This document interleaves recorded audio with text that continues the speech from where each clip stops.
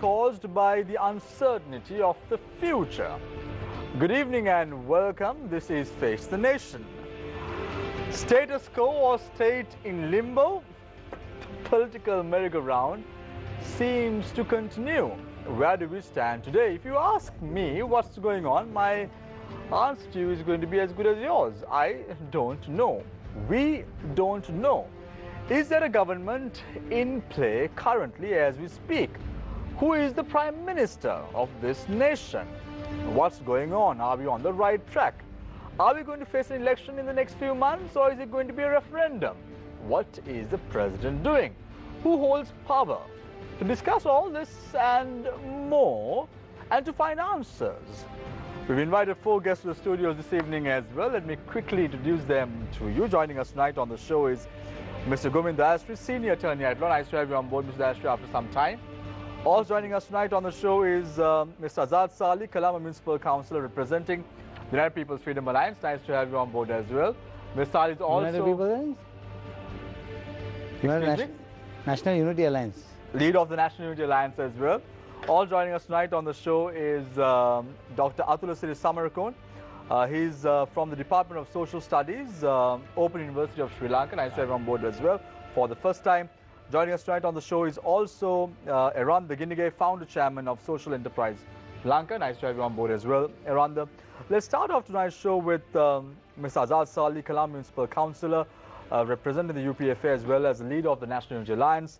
Uh, Ms. Sali, several weeks ago when you came on the show, you said, when I asked you a question about uh, whether the president is going to join hands with uh, uh, former President uh, Mahinda Rajapaksa, you said no. And then you came on the show and said there was no option left but for him to join hands with uh, uh, former President Mahinda Rajapaksa. But looking at what have transpired since 26th of October, do you think it's justifiable for us to have this process in play right now? Do you think why must the people face the brunt of all this and more? Your time starts now. Um, Samir, how all this started was there was a sellout of the country to various countries from time to time, which the president had been warning all of them at every cabinet meeting. We saw several cabinet uh, papers coming in, which was not very conducive or good for the country. And you saw how the decision to hand out the East uh, Terminal to the Indian uh, government. So these things were all told, but never it was adhered to. So President could not go ahead with them. He had to take a decision for the sake of the country. He took that decision, but the decision is not uh, acceptable by most of the people because earlier we see Mr. Mahinda Rajapaksa who who was defeated by the people being again bought in. So this is why we always said we want a government without Mahinda and Ranil both. Right? This is the thinking of the people. I'm, I'm saying this is the thinking of the people. Why did this government come in in the first place was the 11 years of corruption of the Mahinda Rajapaksa regime. That is that was the biggest accusation that people were uh, uh, saying about the previous government. But then the good governance government came in. What did they do for three and a half years? It was only a sellout, and a ant uh, full of people were controlling the economy and bringing in their friends. And the people who robbed with the Rajapaksa regiment were bought into the country, and again they were given priority right? Where was the investment? There was no investment coming into the country, right? What, what were they doing? They were doing nothing. Now see, whether anybody likes it or not, when Mr. Rajapaksa was again appointed as the Prime Minister, we saw the tea boutique fellow reducing the price of tea. We saw the commuters reducing the bus fare. We saw people reducing the bath packet prices, the lunch packet prices came down. Everything was coming spontaneously, which nobody expected. There was no decrease of prices. But why is that? They had some confidence. Whether we didn't have the confidence is a different thing, but the people, the masses had some confidence that these things will come down. And it happened. And even today you see potato prices coming down. every day there was something. I mean, the fuel prices came down, buses brought their prices down. Even today, you see the three-wheel drivers have brought their prices down. So that was a big uh, thing that the people expected. At this moment, we have a country without a government today. We don't have a cabinet. We don't have a prime minister. I think from since 1948, this is the first time Sri Lanka is without a government. This might be up to tomorrow morning, I think. I don't know whether uh, it will uh, change or whether the reappointment could take place. Nobody knows. But let's let's wait and see. But what I'm trying to say is, what is the uh, people wanting? People want is that they want to exercise their franchise. If you see the two rallies that took place today, one in Galle and one in Maradana, you can see what the people's uh, people want to do. Uh, now, Ms. Ali, you bring in a very important point. You say about uh, selling out uh, state assets. Uh, let, us look at uh, the uh, Hambantota port that was somewhat sold to the Chinese for a 99-year lease. And then let's take a look at the Eastern Terminal as well. Uh, Mattala Airport. the Mattala Airport. The oil tanks. so, right. So, all this, the minister who was in power was representing uh, the Sri Lanka Freedom Party. Mahinda Samarasinghe was the Minister of Ports and Shipping when the uh, Hambantota port was uh, given away. And he came directly under the control of President Maithripala Sirisena. If that's the case, why didn't the president stop all this at that time? See, even the East Terminal, if you, that same question arises here also, when the question of the East Terminal also came, it, when it was brought to cabinet, President immediately told them, sorry, this cannot be given, at least leave one for Sri Lanka. Mm. You can't sell the whole thing out, right? Now you sell the Mattala airport, you sell all the oil tanks. Then now see the first instant where did we go wrong? First was the port, port city, right? When Mr. Rajapaksa gave it uh, to the Chinese, the UNP government that came promised the national, the uh, unity government came and said we will stop this at any cost, and they stopped it, not knowing what the consequences are going to be. They stopped it after one and a half years they have to not only give back that, but they have to give a bigger land than what Mr. Rajapaksa promised. So those were the blunders that Mr. Wickremesinghe made. So, and they don't consult anybody, they don't ask for anybody's opinion, he decides. Then the president asked him, in the same cabinet, one meter, yeah. in the same cabinet president asked him, who told you that you are giving the east terminal? He said, I have promised. You can't promise like that. That is where all these problems started. Azad, my question to you is, you said that uh, Prime Minister Ranil Wickremesinghe, former Prime Minister Ranil Wickremesinghe, does not consult anyone. My question is directed to you. Does the President consult anyone before he takes decisions? Definitely, he has to, you know, because as the President, he has so many advisors with him. He has to consult. There is somebody advising him in all these issues. That's what I so, told you earlier also. Right now, right now, the country does not have a, prime a minister, government. A there is no nothing. proper prime minister. Spending for the ministries have completely come to a standstill. All this have been now uh, published in the Hansard, so it's official documents available.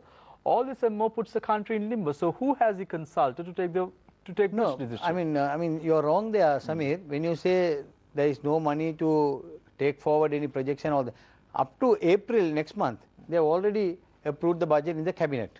Right, that is already supplementary budget has been yeah, proposed. Supplementary budget has yeah, been approved, and has been approved. So still the March, Prime April, spending has come to a standstill. No, that is only now, no, only yeah. tonight.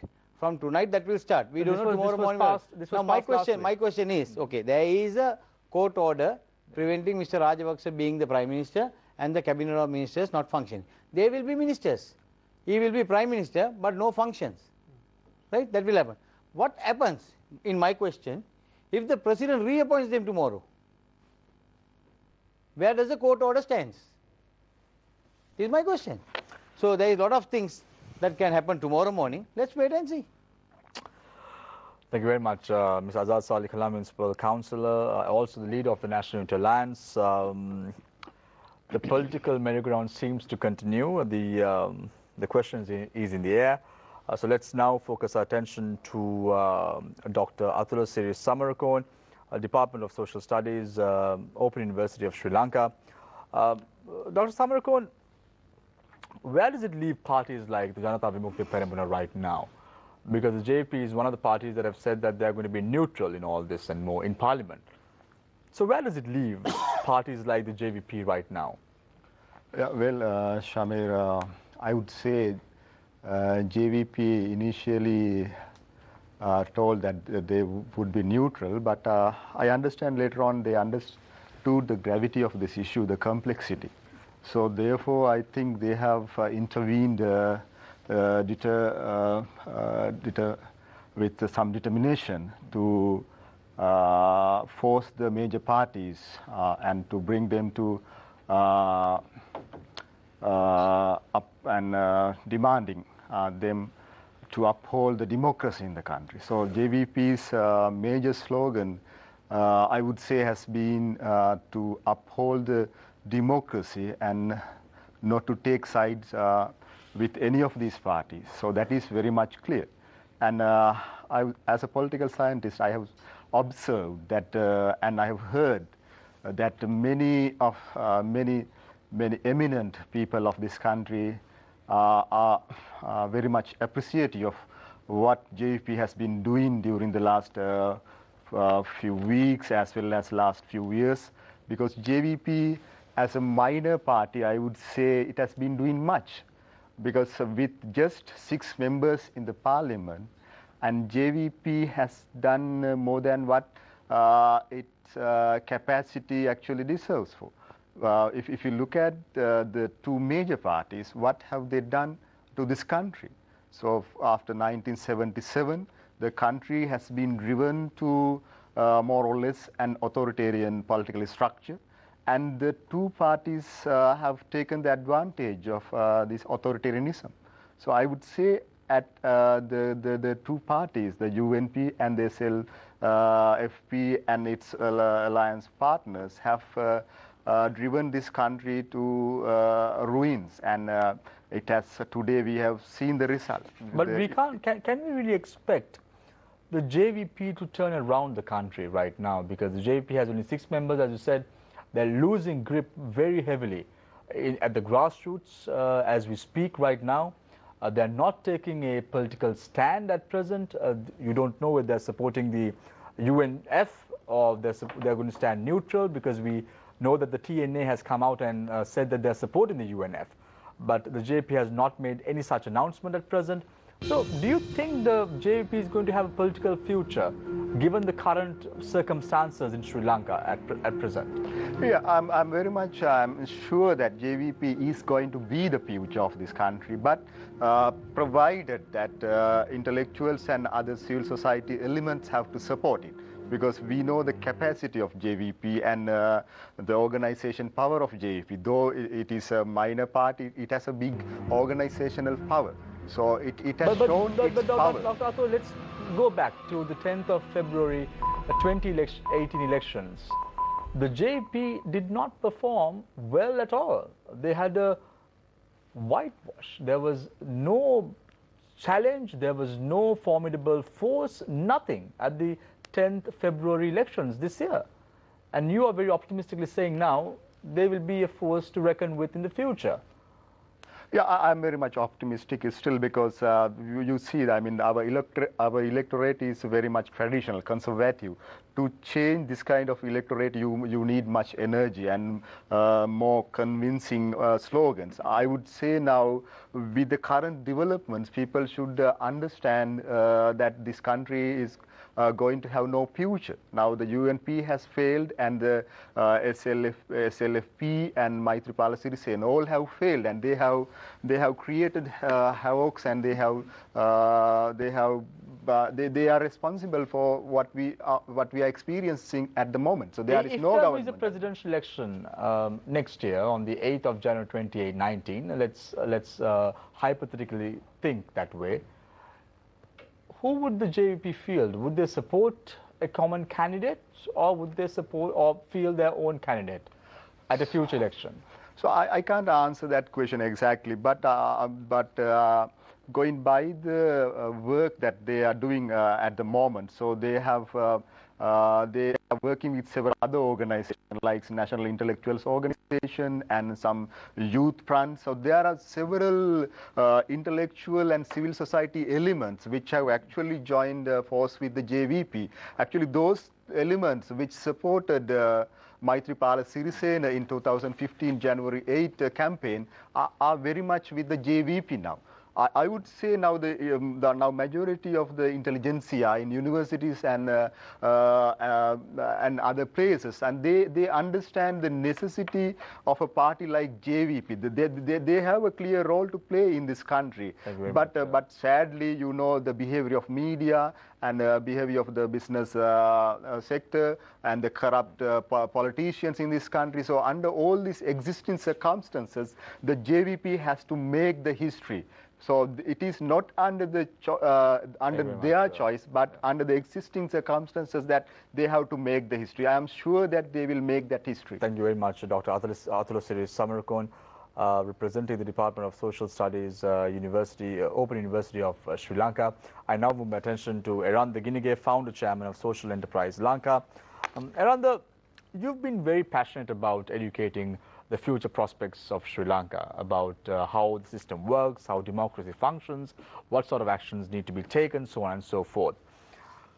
Right now, you have Mahinda Rajapaksa coming, uh, a lot of people say coming from the back door to become the prime minister of the country. Then you have uh, President Maithripala Sirisena taking very, uh, very quick decisions um, on many instances since the 26th of October. And he has uh, very clearly stated that he's not going to appoint Ranil Wickremesinghe as the next prime minister, even if the UNP uh, feels a majority in parliament. So given all this, where is democracy lying in the country? Is there democracy at all? Can we expect an election to happen in the future? Even if an election happens, what's going to happen next? First question is very simple. Is there democracy? All these actions, decisions being taken right now promote democracy in this very little Sri Lanka? Does it? Uh, thank you, Shamir, and it's, it's great to be back on uh, Face the Nation. See, to answer your question, Shamir, um, first of all, people need to understand what on earth is democracy, right? As a social entrepreneur and also as the ambassador for Democracy Earth, who's championing liquid democracy, which is a new concept that is being uh, developed and tested around the world. Uh, you know, I go and talk to all kinds of people in the society at all levels, and I ask them, what do you really understand by the word democracy? I, of course, ask in, in Sinhala, Prajatantravade. You know, first of all, the word Prajatantravade is, is too heavy to a lot of people, and, and the answers I get are incomplete answers or flat wrong answers. The fact is, vast majority of the people of this country do not understand what is democracy, right? Just you know, l- let me for the for the for the sake of viewers, let me just make some very very important points here. See, what I have in my hand is the constitution of the Democratic Socialist Republic of Sri Lanka. If I ask a lot of people, what do you understand by the word republic, Janaraja, they don't really understand it, right? you know, to understand the word republic, you should really think about what is opposite to republic. You know, if you look at Britain, for example, Britain is not a republic. The UK, or you know, however however you want to structure the name of it, it's not a republic. It's a monarchy. The sovereignty of the UK or the Britain or the Great Britain is vested and lies with the Queen, Her Majesty the Queen. Even the very government of the United Kingdom is called Her Majesty the Queen's government. The opposite of that is the republic, where the sovereignty, the absolute ownership, the absolute power to control this land and everything in it lies with the people of this country, the citizens of this country. That's, that's why we are a republic. And that has huge, huge meaning. It is very, very important for all of us to really understand what that concept is. Now, what is democracy then? Democracy is the tool that we use to govern this republic, right? And it's, it's essentially a decision making tool. It- and, and there are various ways you can practice democracy. You can do it direct democracy, how we do uh, in Sri Lanka right now through representative democracy, and in new forms like liquid democracy. So, democracy can be practiced in so many ways. So to answer your question, do we have democracy? Of course we do have democracy. We have a democratic structure here. So in the Constitution, it says, the sovereignty of the people shall be exercised and enjoyed in the following manner. The legislative power of the people, the executive power of the people, and mind you, the judicial power of the people. You know, a lot of people think that you know the parliament is supreme or the executive is supreme, the judiciary is untouchable. But at the end of the day, the source of power, the root source of power for all these institutions is with the people. And therefore, I believe the best way to preserve democracy and to overcome the current crisis is to go for a general election to solve the parliamentary crisis and thereafter all the other elections. Uh, Eranda, you bring in this very important point saying that the power in a republic lies with the people. Am I right? Yes, That's absolutely. what you said. Right. So, who wanted an election? Now, the people appoints a government Hmm. for a period of five years based on the 19th Amendment to the Constitution and based on the constitutional powers. They want a government to be in power for five years. So, one man decides uh, on a particular date, this is not going to work, so let's uh, dissolve parliament and go for a general election. So, one man, does he represent the entire republic? That's a very good question. So again, as I said, the sovereignty, the sovereign power of the people, Shamir, is divided into three parts. One is the executive power, which is headed by the president. And don't forget that the president, whoever the person may be, the individual may be, it can be Maitripala Sirisena Mahinda Rajapaksa or Ranil Wickremesinghe or hmm. whoever the person may be, the, the position of presidency is elected by all the citizens of the country. It is a direct vote to appoint that person, right? Now, on the, to, on the, on the contrary, when you appoint uh, uh, uh, members of parliament, they uh, run from districts, right? So uh, when Mr. Ranil Wickremesinghe is elected to the parliament, he only gets a vote base of the Colombo district. Whereas Maitripala Sirisena had a mandate, a direct mandate from all the people of this country. Okay, so he got what, uh, 6.2 million uh, uh, votes, and then some people argue, so then he has to preserve the, uh, the demands of the 6.2. No, that is, that is rubbish. When the person is appointed to office, when that person, he or she becomes the president, Shamir, he has the responsibility by the constitution to uphold the constitution for all the people of this country, not to look after the interests of one party or a, or a group of people that helped him to come to power. So, so that kind of answers your. So, so let, let me quickly ask you another question. Do you think uh, Mahinda Rajapaksa accepting the prime ministerial position uh, on the 26th of October um, gave way for him to lose somewhat of his popularity that he gained uh, for some time now, since the 10th of February this year. He had a wonderful popularity. It was um, it was on an upheaval upheaval trend. You had uh, a lot of uh, people supporting him, but suddenly on the 26th of October, don't you think that started diminishing somewhat? Actually, for me, it doesn't matter, right? Because I'm a I'm an informed citizen, and I invite uh, the viewers to also be informed citizens. That's why you should buy this constitution. It's 400 rupees. You can buy it from the Parliament bookshop or download free from the Parliament.lk website. I'm an informed citizen. See, for me, democracy is not identity politics. I, I don't vote people in. I don't look at the person, right? I, I use democracy to make a decision. I have, I have my political ideology and I look at the camp that represents that and I look at their policies and then I take a decision based on that. I'm an informed, and that's how democracy should be. Thank, thank you very much, Ananda. I'll, I'll get back to you um, in a minute or two when we open the floor for questions from our journalists. I now move attention to uh, the very vocal uh, Mr. Gomin Dayasri, a senior attorney at law. Nice to have you back, uh, Mr. Thank Dayasri, you. on the on the show. Um, so I, I want to drag your attention to the Court of Appeal decision today. Uh, put somewhat of a full stop, um, isn't it, uh, to the activities of the uh, current Prime Minister and the 48 members who are supporting this particular cause in question. So where does it leave the people at the end of the day? Well, people are left very much in the lurch by all these activities. But let me start at the point I would like to start. That is, how did this all begin? It began when Mr. Sirisena decided, as president, that he will prorogue Parliament. I think that's a he's, that's he's well within his powers to prorogue, and he did it. But remember, at that time there were two questions that he had to answer. He had to find out, in his opinion, who was the most suited person to be the prime minister, who represents the most number of votes, or has the gain or the popularity of most number of members of parliament. Now he didn't do that. He didn't do that, nor did he look at the two-third majority which would have enabled him to have an election. Instead, he went and fixed a date for an election. The matter went up before the Supreme Court. They struck him down. They, I think in this whole thing episode, we have one set of winners. That's the judiciary. They have performed marvelously. I think they did excellent job. They were spot on. I, I was a counsel myself, but I didn't represent anybody. I was the only counsel who represented myself.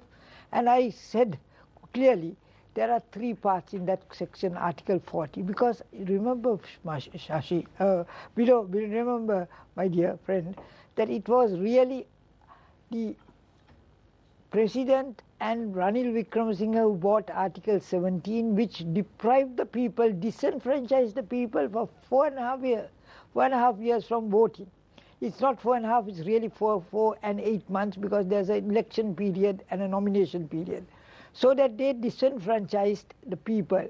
And when that came in the 19th Amendment, I was the person who went to court and challenged it. I said this is, and I said the very incident that will take place now will happen if you don't give the people the right to vote. Because if you remember, Dudley Senanayake, uh, Mrs. Bandaranaike, several people had elections and it's the people who could decide. Now people are disenfranchised, they cannot decide. Even if the government loses a majority, loses a vote of no confidence, loses the budget, loses a, a uh, financial bill, they still can remain in parliament because the four and a half year rule is mandatory. I argued very strenuously that people must, the the government cannot have a Yahapalan here stunt like this where people are deprived of the vote. And what did, I, I remember I spoke about this to Mr. Herat, the JVP member the other day. And he also agreed with me on that point that you have to have elections. Now, what did the uh, court do? What did the CJ do? He did not give an answer. He neither said yes nor no. He is bound when a submission is made to consider the submission, give his reasons. If he accepts it, I would have been very happy. If he rejected, I would have been equally happy because I knew where I was wrong. He said he couldn't find any mistake or I don't know why. I cannot peep into his mind, but he didn't have any answer. So that the government was able to get through that legislation without a referendum. The point one. Point two, it is incumbent that once you have a, according to the constitution, once the constitution is passed, and it was passed overwhelmingly. Remember the, J, J, JO, pardon? Except one person. Entirety of the J, J, joint opposition of Mahinda Rajapaksa voted for it or did not uh, refrain from or attend. I think Mahinda Rajapaksa was not present. But why is that? Why didn't they oppose? So they can't. So when Mahinda Rajapaksa later thought of contesting for the third time the presidency, he knew. I told him that you can't do it. I wrote an article and said you can't because you hmm. didn't oppose. I, so I opposed. So anyway, now the situation. So, but, but, where does it? Where does all this leave now? Now you it, have... it leaves in now. Now the courts have clearly said Mahinda Rajapaksa is no longer the prime minister. So that means all the acceders is incorrect. He's not a proper holder. He's a hoax. He's a fiction in office. So based on what based on what Azad said right now, the president can reappoint. No, he can't. How can he reappoint? I mean, he'll be there'll be contempt. He dare not reappoint. He will not reappoint. I'll tell you what the president will do. He'll do something very, very intelligent and beat everybody at it he will have a presidential election and he will be the only available candidate for Mahinda Rajapaksa's because I'll tell you, Gotabaya is disqualified. Mahinda Rajapaksa's candidate will be Sirisena and that is the friendship. So let's say, so let's now, say there was, let's say there was go. an election on the 8th of January 2019. Because that's the only. What are the chances that President Sirisena is going to have for another re-election? I don't know, that depends on the SLP, but I can tell you, I quite agree with you. Mahinda Rajapaksa has lost. I mean, I've been in several outstations after he lost. And after he took over the premiership, premiership and they knew, all, all the people knew that he was, it's only a matter of time he was going to lose it. Because they know, I mean, don't think Sri Lankans are little dumb bums. They so know what so is you, happening. So, so you would agree with what, when Iran, Iran says he goes around asking people, what democracy or what Prajatantravadi is. I don't know. He's People a, don't want to uh, really know what democracy well, is all about. They just want to know informed Democrat. How, how, to, how, how, to move forward. I think he's an informed Democrat. He may know still more than anyone else. Because I'm not an informed Democrat. I'm just a person who knows what is going on, happening at the moment. But uh, the tragedy is this. My tragedy is that today Sri Lanka, we have had a situation where we were economically, you know, absolutely whole. Now we made it worse. Now that is what I think Ranil Wickremesinghe and Mahinda Rajapaksa should both be blamed. I think it would be wonderful if we have a new candidate from the SLFP and the UNP running for the presidency. It will have to be because Mahinda can't run. He thought he could, but he can't. So we'll have a new candidate from the SLFP, a new candidate from the UNP, maybe Premadasa.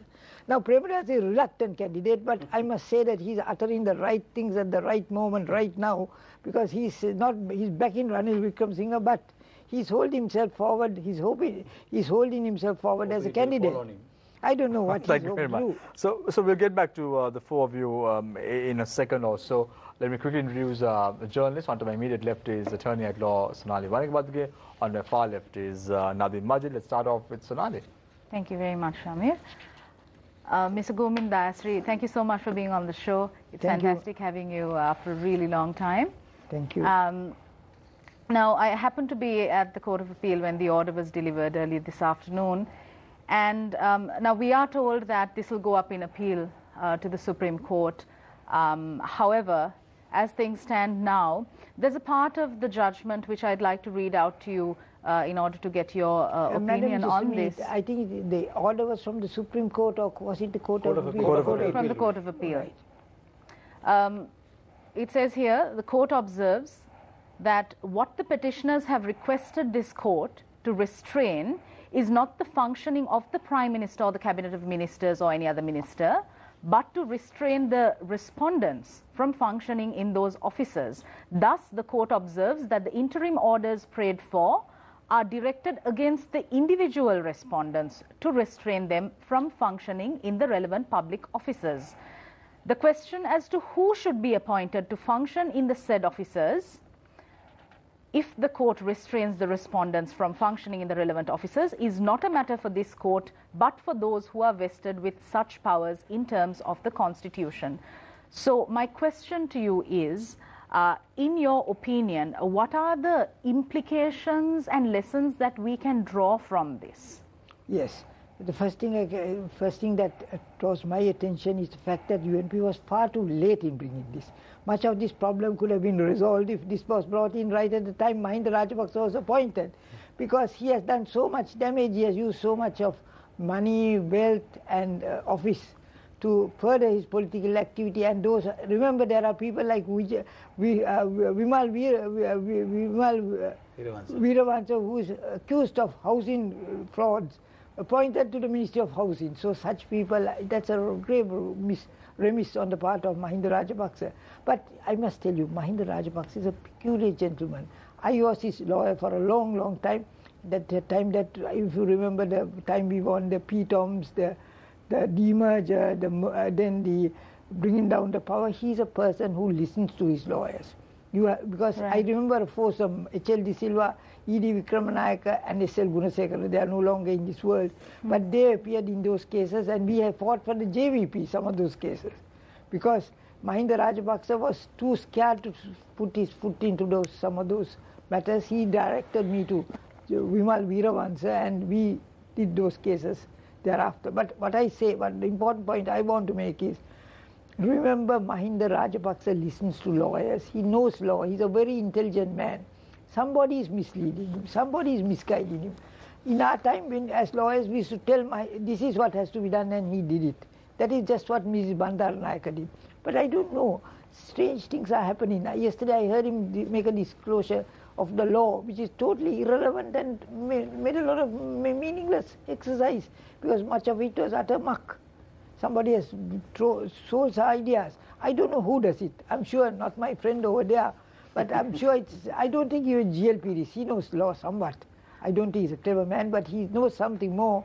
But I don't know who it must. I do, because I'm very sorry for him because he Mr. had a tremendous following in the country. He's lost it. What are the lessons that the executive arm of government can take from this? Yes, executive arm must learn from this. I think the courts have triumphed at the end. It's the constitution is the highest body of law in the country. Everybody is beneath the law, even the chief justice, the president, the prime minister, they are beneath the law. They must look at the constitution and act accordingly. It's a good lesson. I think, I mean, I'm one who opposed 19th Amendment, but I believe I have to follow the 19th Amendment. I, I believe sure. in it now. Not that I accept it in any way because democracy is very much rattled by the clause 70, but you have to accept it, you have to work within the framework. Now, this is a good lesson from Sirisena who thinks, who thought he could do anything and get away with. He did that once. Remember, he got away with the appointment of Ranil Wickremesinghe over Jayaratne. He thought he can do it all the time. That's the lesson he should have learned at that time if Jayaratne went to court. Mind would uh, season would have been serious. In your trouble. opinion, is there a, a political vacuum now? I mean, following this this order, what should be the way forward technically? Technically, uh, there is a disorder at the moment because there's only one living being. There's no. There is only a president, and president is now empowered to do anything. He has no check. There's no parliament. Parliament is dissolved. There's a speaker who's, who, who, who, who decides things on hearing. I mean, that's stupid of him to think that he can decide a question on merely on the basis of a, a loud noise that was made by one side instead of the other. That's stupidity. You have to, when you have a physical count, you must have a physical count or an electronic count. That was not done. That is the cause of much of these problems. There again, I would say, at, as at the, presently, we have only a president, and thank God we have a president because president has powers, and those powers must not be reduced in any way. Because remember, we beat terrorism because of Mahinda Rajapaksa, and Mahinda Rajapaksa used executive power. That is very important, and today we would not have been in this state if not for Mahinda Rajapaksa. Though I have, I have deep criticisms against him on the present matter, I respect him for what he did to eliminate terrorism for this country. But that is not all. That is a, there has to be a full stop on that issue also. Uh, thank yes. you very much, thank you, uh, thank you. Mr. Gomin Uh, Dr. Atula, why do you suppose the JVP is not doing very much to um, curb the damage that is uh, being done unto the country? The JVP can actually have the opportunity to present itself as, as a vikalpa or as an alternative to this current um, jackassery politically that is taking place. However, it chooses to just sit back and watch what happens. Why is that? Uh, I don't. I don't think that JP has chosen to sit back and uh, uh, wait uh, until others are doing the things. But uh, it has been more cautious uh, about the events, developments, because JVP is a party which has been actually which has been eliminated from the political scenes twice, right? So it has experienced the violence of uh, this political structure very much. So it, it, it, it norm, naturally it should be cautious of these events because these two parties are not at all democratic. So if, if you observe the developments uh, after 1977, so how many youth have been killed in this country? Uh, it's all by these two parties, SLFP and the UNP. So JVP has been the victim of this political violence. So throughout. So right now, after 1994. How so? How so? In 1989, what happened? Yeah, 1990. Why are you forgetting that aspect? Yeah, of 1889 is very a different, different episode. So 89, yes, yeah. there, the, according to JVP's point of view, there there, there was. Uh, uh, external intervention, right? So JVP was uh, so very JVP was very uh, blind towards that, very much uh, vehemently opposing that external intervention, and uh, it, it, has to organize. Uh, it, it was not Dr. in the Samarakoon, even the JVP leader Anura Kumara Dissanayake has since apologized for the actions, actions, of the JVP of the absolutely. past. He has apologized, Dr. Mr. Mr. Anura Kumara Dissanayake, yes. the leader of the JVP, has apologized for the actions committed by the JVP in the past. He has. So he has. Yeah, we have it on, on record well, as well. Well, well I think yeah. that, that, I mean, the JVP has to look uh, re uh, reflectively. I mean, on what happened uh, in 71 and 89, of course.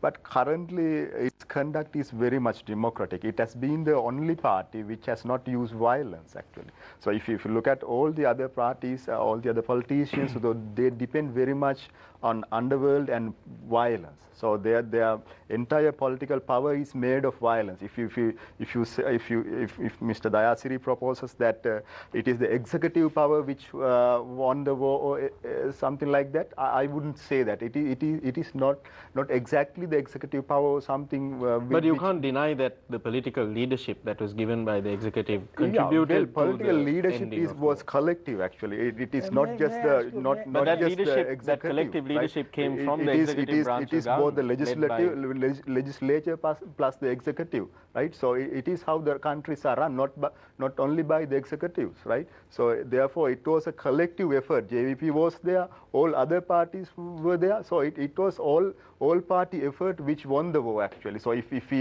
if we ever agree that it is a victory, I don't say that was a victory at all because but just by any eliminating the LTT or killing thousands of Tamil people, we have not got any victory in this country. So we, we, we have, those are our people. No, no, no civilized country in the world kill their own people. Not America does that, right? No, no other countries do that. So what do you mean? America is what doing elsewhere. Not, not, not, not America is. I would say? America is. This is a America is doing that elsewhere uh, on, on other territories. Not, how not, dare you say this? How dare you say this, Doctor? How dare you say this? 71. So listen, listen to me. Listen, listen to me. Listen to me. Right? America is not doing that to their own people. no right to say that. It may be fighting wars in hmm. other other territories, no right to say it is not killing its own people. You have no right to say that. Americans are killing anybody to go before the polls. What are you talking? The first fellow went to polls were killed. Can I ask you one question? Nonsense. Is not the, select, the JVP that got the highest number of votes, for first, second, third in most districts in the election that Chandrika won? Yeah, yes, now, if that is so, if that is so, why is it that the, eh, the UN JVP got such a big vote, and what have they done? They did nothing more, and, and lost they, they lost. They got decimated after that. So I think JVP is a write-off. It's an incompetent party. Right. You know, they, yeah, let me I, let me just say one one thing. If this JVP is, is, is, is an incompetent party, so right now, I mean, all the parties have shown their incompetency because there yeah. is no government so in JVP. this country. So, uh, so I just want to, I just so want to place on record. Uh, uh, Constitution, I think, I mean, has now. Dr. Salman, I just have yeah. to, before we further move, I just want to uh, tell our viewers. Uh, the views that you're expressing right now are of the individuals concerned or the parties that, that they represent. Uh, we as a network these, or an organization concerns, actually. I, uh, I don't won't take any responsibility yeah. for the statements yeah. that you make. Uh, we have a question for um, Azad Sali, a leader of the National Unity Alliance. Uh, the question is directed from Shamindra Ferdinando uh, from the island. He says that you speak about uh, the power lying with the people, and that is why it's important for us to move towards an election right now and for the people to exercise their franchise. If the power lies with the people, how does defeated parliamentarians are accommodated in parliament through the national list? Yes, um, um, that is not uh, anything to do with my party, but it is the president's party. What happened was when the UPFA contested together, at that time itself there was division in the party. A set was with Mahinda Rajapaksa, a set was with President Sirisena. Mm. And they openly campaigned saying not to vote for those candidates who are contesting under Maithripala Sirisena. So that is why when he got the total of uh, seats, he had to accommodate all those people who lost. So just because, just because uh, there are divisions within a within a political party, and when the people rejected these individuals in question, how can they come into parliament through the national is, list. That, that is the democracy we are having today. Because we, we saw this with you, uh, we the saw, UNP as well. We saw Sarath Fonseka getting, how many, how yeah. many votes did he get? Where is he now? Where is his party? Why did the UNP take him? Right, they took him. Mr. Keeping Sali, all the other people on the national, national list. list. You were on the UNP's national yes, list. Yes, I, I, I was also on the national list and I was the only person who had a letter from the party that you will be nominated first. Right? So these things happen. Even now they are talking that they will again accommodate me, which I have said no. First rectify the mistake you have made already. so this happens, uh, Samir. Yeah, so now see that the same people, hmm. as you mentioned, who came, are the people who first broke and went, the 16, Dasya Kaliye, right? So that created more problem for everybody. And today, that is the result. That is the result that has come out today, and today the whole country is suffering due to that. This is what we have to understand. If not, Mahinda Rajapaksa will be where he is, the UPFA will be where it is. After one year or one year and two months, we will go for election because after four and a half years that you can dissolve. But first and foremost, this good governance government failed to prepare the constitution properly no. Hmm. That's the biggest mistake they made no. Mr. Sumanthiran was put in charge. He deals in English only. He deals in parliament in English. He deals in the constitution also in English. So he forgot the Sinhala language. That is why the constitution is saying one thing in Sinhala, one thing in English. Right? And that That's is why all opinion. this is. And ultimately what does the constitution itself says? If there is a crisis, that you have to go by the Sinhala version. Mr. Sali, uh, the, the, what you just articulated, that there is a difference between what is said in English and what is said in Sinhala, that is your opinion. That is not something that has been upheld by uh, the Supreme Court, that no. specific difference. See, that is what the Prime Minister was, the former Prime Minister was saying. I spoke with the English constitution to the foreigners and to the ambassadors, and the same ambassador uh, summoned to the President's office. President said, I spoke to them in the Sinhala constitution. So this was openly seen by everybody, you know. Nobody, nobody has up to, said, up to now said that was right or wrong, but it was accepted. Uh, well, it's only the Supreme Court at the end of the day that can say whether something is. That is what everybody should have waited for the it's constitutional or not, without or whether, being in a hurry. Whether there is so, a difference, see, it's the um, Supreme Court that can say it. What Otherwise, is, what you and I say no, is simply an opinion. Now they are talking about independent judiciary, right? Earlier, you remember, before this matter went before the Supreme Court, you saw all the medias, you saw especially the social media going. President just appointed the CJ two months ago. So this is going like this. Already Ranjan Ramanayake has given the judgment, 3 into 2, right? This was the talk of the town. And today, once the Supreme Court says, we have, we have stayed the gazette, my God, independent judiciary. Now everybody is very happy. Same thing with the Court of Appeal right? They said the seventh man was brought to the first position. Huh? President Sirisena did this. Huh? He is the man who was uh, sitting in his commission. All that was said. But now, when the order is given, my God, the independency but, of the judiciary. But, see all the heroes coming in front of the mics and talking. But so Azaz, Azaz, same thing happens. As long as it's yeah. good for them, suits them, they'll be happy. So what I'm saying, Sri Lanka must have an independent judiciary and we are for independent judiciary. Hmm. Let that continue, not take sides. And it will not take sides, I know. No, but we saw what the is, same thing is, happening. Yes. Let me, what is the best test? Isn't it the order? Isn't it the judgment? Exactly. So if that is so, if you say judgment is good, you are accepting that the Supreme no, Court. No, what I'm trying to say, the Sri Lankans' attitude, no, no. before the judgment they predict one thing, yeah. and once the judgment comes, they say independent judiciary. If the judgment goes the other way, they will curse the judiciary. But Azad, we saw this happening with uh, Johnston Fernando as well. Just ah, before what I'm saying. it happened, he uh, he said the India judiciary is not no, independent. President Mahinda Rajapaksa about a month ago said, yeah. we don't have any faith in the judiciary. So he said that openly. So and now now does he say yes, Are we trying to say that what he said is right? No. So we have a question from uh, a viewer who wants to, who wish to uh, stay anonymous. So this question is to Eranda.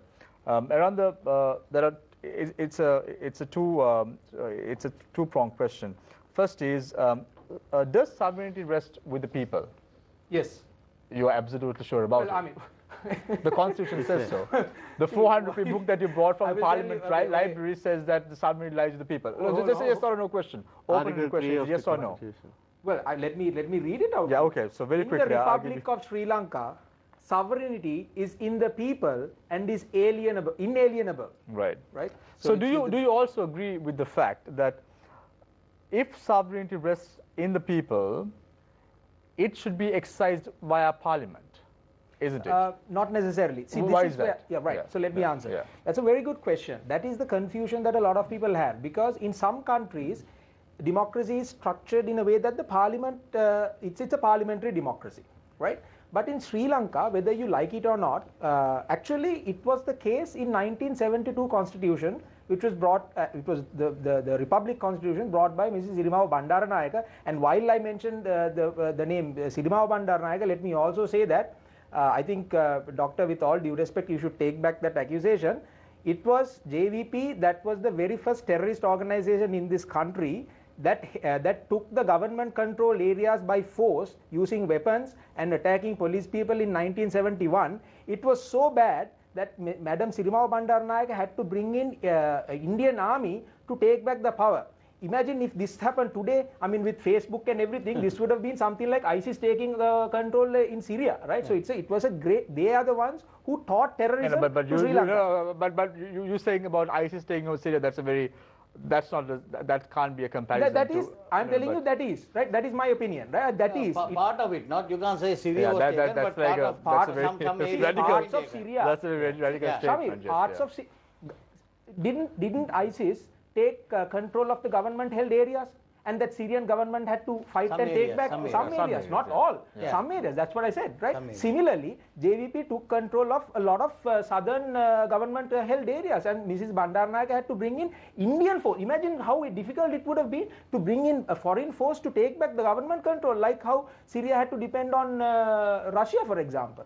So it was a it was an extremely grave uh, terrorist act that uh, JVP did. They don't have any right to accuse the gov government forces of killing innocent people. Which no, no, but no, let me answer. Let me answer the question. Yeah, yeah, let me answer the question, please. Let me answer the question.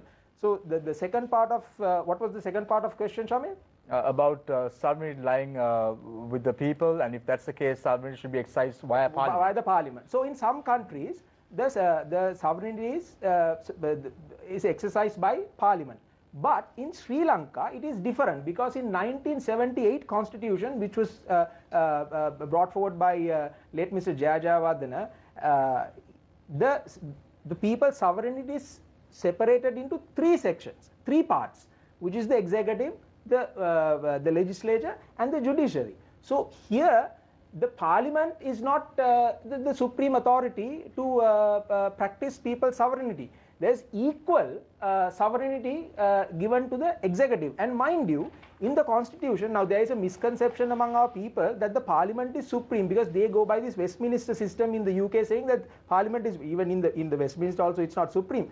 But here I, I will tell you the the the uh, the opening statement, uh, the the enactment of uh, the Constitution. Let me read that.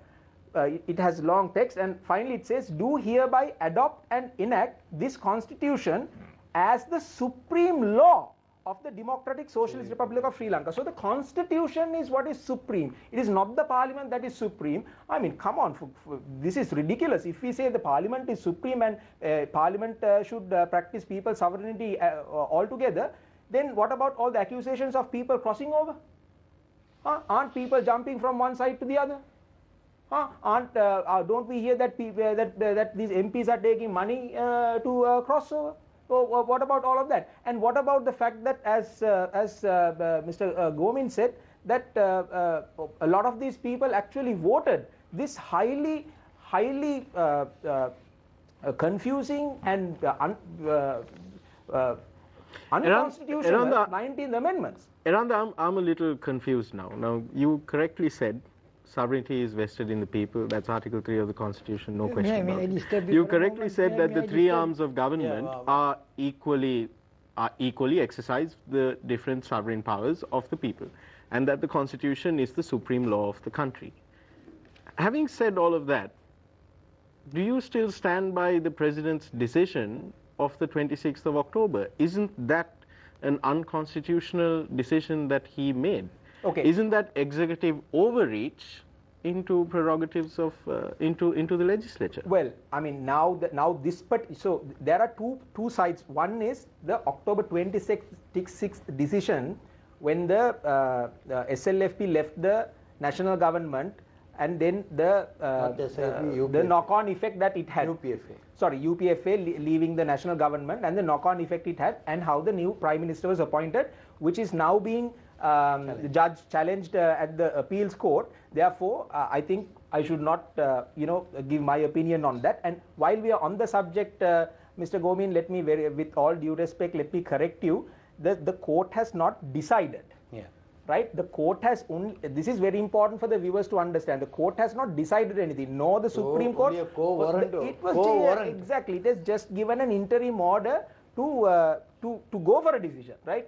So therefore, it is not decided yet, and it might come on either way. That is a different matter. Uh, uh, so, uh, coming back to your uh, what was your isn't question? it executive overreach into the legislature? Right. So, see, the You- way you- that the see, now for, for the for the just, just a minute. The quo warranto and no matters were considered by court, and an interim order was given, which is, I think, a great uh, heroic victory for the courts. Because how much uh, did you have a situation where courts intervened? If you remember, two- no, it happened twice. It happened twice, and when this parliament knocked down, Anura Bandaranaike made a declaration, in court. Parliament is Uh, supreme. par- Parliament is supreme, and so did Chamal Rajapaksa do that. Yeah. So that that is there, and my friend is wrong. On another count, the question of sovereignty and inalienability was, uh, and that it can't be inalienable, was the words of Colvin de Silva when he introduced the 1972 constitution with H.L. de Silva, and also at that time, as at all times, Sri Lanka had an executive judiciary and a uh, legislature. Those were separate entities in the in the Sure. several Sure. several chapters. So, of the, uh, uh, Radha, so I you're didn't say- agreeing with uh, uh, Mr. Dashri on that, right? Yeah, I didn't say I didn't say there was there, it, it was not so. I said there was no executive pre- uh, presidency in the 1972 constitution. you, you- you're trying to correct uh, Mr. Dashri saying that he said that uh, a decision was not made and that he it, uh, the, the answer was in response no, to that what question. he, around he said that the, the court gave a decision Yes, it that gave- uh, that uh, the min- mi- that uh, the current prime minister and the cabinet uh, uh, uh, appointment of the prime minister and the cabinet is is wrong. Right, uh, that was Iran- not the decision that was Iran, given by I- No, I- the that's I- a I decision, give a- whether you yes. like it or not, that's an interim decision that was given after a hearing where I participated and several other lawyers participated. Both sides were heard, and an order was given, and that is a heroic answer. So, uh, Iran, I need to give an opportunity to, um, To Dr. finish my- Samarakoon as well, uh, Dr. Samarakoon to respond to uh, the accusation that, he, I that you leveled against. Uh, no, I would give an opportunity for you to respond to that. But uh, Dr. Atula, uh, Iran brings in a very valid point. He says uh, this terrorism uh, that started in Sri Lanka was uh, initially initiated by uh, the JVP in 1971, Yeah, yeah, and we saw that happening in 1989 as well. And you cannot um, in any way say it did not happen because uh, we had individuals like Rohana Wijeweera actively involved in this whole process, and we will revisit the past. Um, it's everywhere, uh, everywhere. It says it bears the hallmarks of the JVP, the Janata Vimukti Peramuna.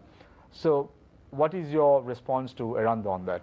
Yeah, well, I accept. Uh, I mean, we, we can actually, under no circumstances, accept political violence. Uh, that is my stance. But uh, terrorism as a term, uh, it has multiple meanings. So uh, it can be uh, terrorism of various groups. Also, it can be terrorism by the state. So there are, there are two sides of this: state terrorism versus terrorism by various groups like LTT, etc. So what happened in this country, unfortunately, the youth of this country were frustrated uh, uh, about the, of the political system. So right now, I think again people are um, uh, being fr- um, uh, being uh, frustrated because these two parties have not delivered uh, their promises, and they, the country is in chaos. So under these But, circumstances, but right now, what we need is not violence. It, it's a democratic yeah, I framework. think, I in think which that, we that, that, that is exactly the part the JVP is taking right now. The JVP has been so moderate and so uh, observing these situations, and it has been uh, mobilizing people democratically, not violently. So JVP has been very cautious. I, But there I- has not there there has not been any violence. Uh, There ha- uh, there has- Dr. Samarakoon for Sri Lanka at present. I- no party, I, think what neither Shamil party. mean- uh, Sham- what he means is uh, Shamil. He means that there's terrorism by terrorism, terrorist and state terrorism. Now, I think in general law, state terrorism is not something you can tolerate. You can tolerate terrorism and defeat it, but state terrorism has no place whatsoever in the known law. That is what he said. But I also remember this. Please, I That is think what he led should. to Mahinda Rajapaksa's defeat. But let me terrorism. Let, tell, let me tell you one uh, further point. I think what the J, the mistake JPP made was in talking about state terrorism, they did ter- they took over terrorism and did it to the utmost.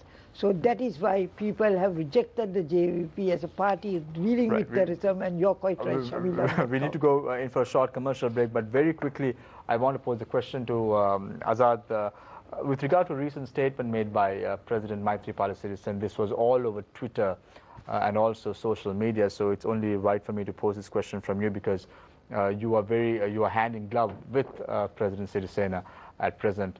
Um, so, looking at the recent statement that was made by President Sirisena uh, when he met a group of uh, um, foreign correspondents, when he was posed a question about uh, being six feet underground if he lost the elections, President Sirisena had said um, that was only a remark that he made um, in a political stage, and hence it cannot be taken seriously. So, statements of this nature that has cropped up over the recent past, uh, what sort of uh, negative impact or impression does it create on, uh, the answer to on that. President Sirisena? You don't have any permanent enemies or permanent friends in politics. This is what I can say because I don't, uh, I don't uh, agree with that because that was our campaign.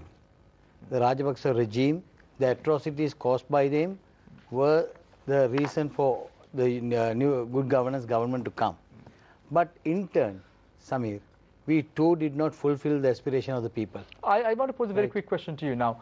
You say there is no uh, long-term political friends or long-term enemies in politics.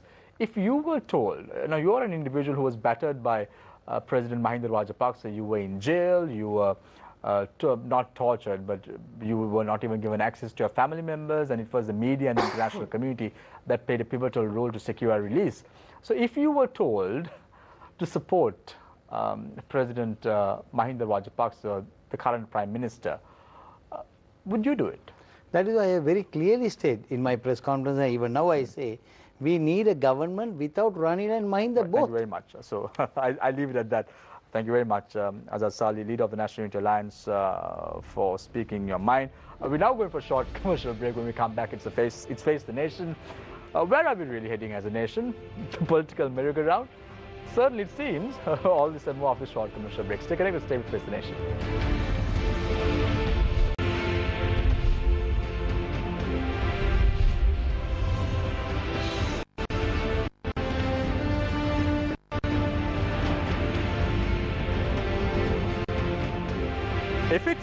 Political merry-go-round, where are we standing in the circus? So to discuss uh, all this and more, we've invited four guests to the studios, uh, Dr. Atul Siri uh, Mr. Azad Sali, Eranda Ginige, as well as Mr. Gomin Dayasri. So let's start off the third round with um, Eranda Ginige, founder chairman of Social Enterprise Lanka. Uh, if you are to support someone in this political game, in this circus, uh, if I may say, um, who would you side with? well, see, now I don't want any, any diplomatic answers well, because see, see. you have you have Sri Lanka on your heart uh, as a badge. So I'm thinking that you'll very candidly and honestly uh, respond to this question. So, if you are to side a political party, because now I need to find out uh, where you stand mm. in this equation. So, if you are to side with any political party in this circus or in this political equation, very modestly if I put it. Where do you stand? See, that is a that is actually a very wrong question to ask in a democracy, Shamil. I have to say. Hmm. Because if eh, you know, with all due respect to you guys, you, you guys are amazing, you know, my friends, I like you, I love you. But see, the thing is, the all these hmm. discussions always revolved around either parties, political parties or individuals. Why is it that? We, this is what we have been doing for ages. It is not democracy, Shamir, it is partycracy. It is not uh, democracy, it is identity politics, what we are doing in this country. That is, democracy is a decision making tool. That's what I said, right? Now, okay, I'll try to give you an answer, right? I know, I know you are dying to. Uh, I will uh, rephrase my question where, where I stand, right? In a way that you would be compelled to answer, and you know that. So yeah. No, no. I, I mean, let, let, me answer it. I'll let me answer it, right? See, the way I see it, there are two clear political camps uh, in this country? Now, there, there are three uh, clear political camps right now in Sri Lanka at present. As what is the third? Okay, let, let me tell the, the, the, two that I see, and right. then you tell me the third. Right. I, I okay? will tell you. Yes. Okay. So the, the, the first one is the one that is sort of uh, uh in, uh, inclining towards the left. You know, the socialist. Uh, more, more promoting more indigenous uh, business and uh, agriculture, and then more inclined towards, in, in, in, terms of foreign relations, towards the east. And there's another camp that is more, more towards capitalism, uh, more inclined towards uh, privatization, globalization. Uh, uh, and sort of uh, aligning themselves with the West. These are the two camps that I see. Hmm. There's a, there is a third camp that I see. That is the separatism camp. what is your camp? What is the third camp that you? Um. No, so so I will- I will tell you as political parties. You speak about the one. These are not is inclined- parties. No, no, no. But I, I agree with you. But let's let's put into uh, simple bolts and nuts so people at home can uh, really understand what we're Okay, talking about. You're talking about an indigenous uh, p- political party who's promoting agriculture, who is uh, inclined towards the West. The only party that I can think of in this political whole scenario is the Sri Lanka Podujana Peramuna.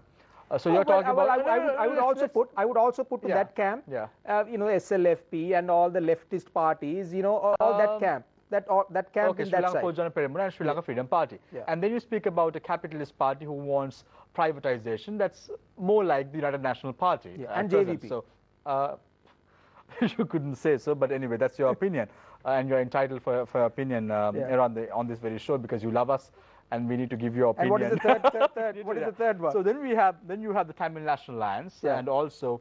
Uh, smaller political parties like the EPDP as well, and then you have the Ceylon Workers Congress who are very much inclined. So there's a lot of political camps at present as you speak right now, but I'm, uh, I'm quite surprised only you see two political camps in this whole scenario. However, so given the fact, which party or which side do you support? Is it the indigenous prone uh, agriculture promotion, uh, the most the more Russia China uh, relation uh, based uh, political parties like the Sri Lanka Podujana Peramuna and also uh, the Sri Lanka Freedom Party, or is it uh, the other side?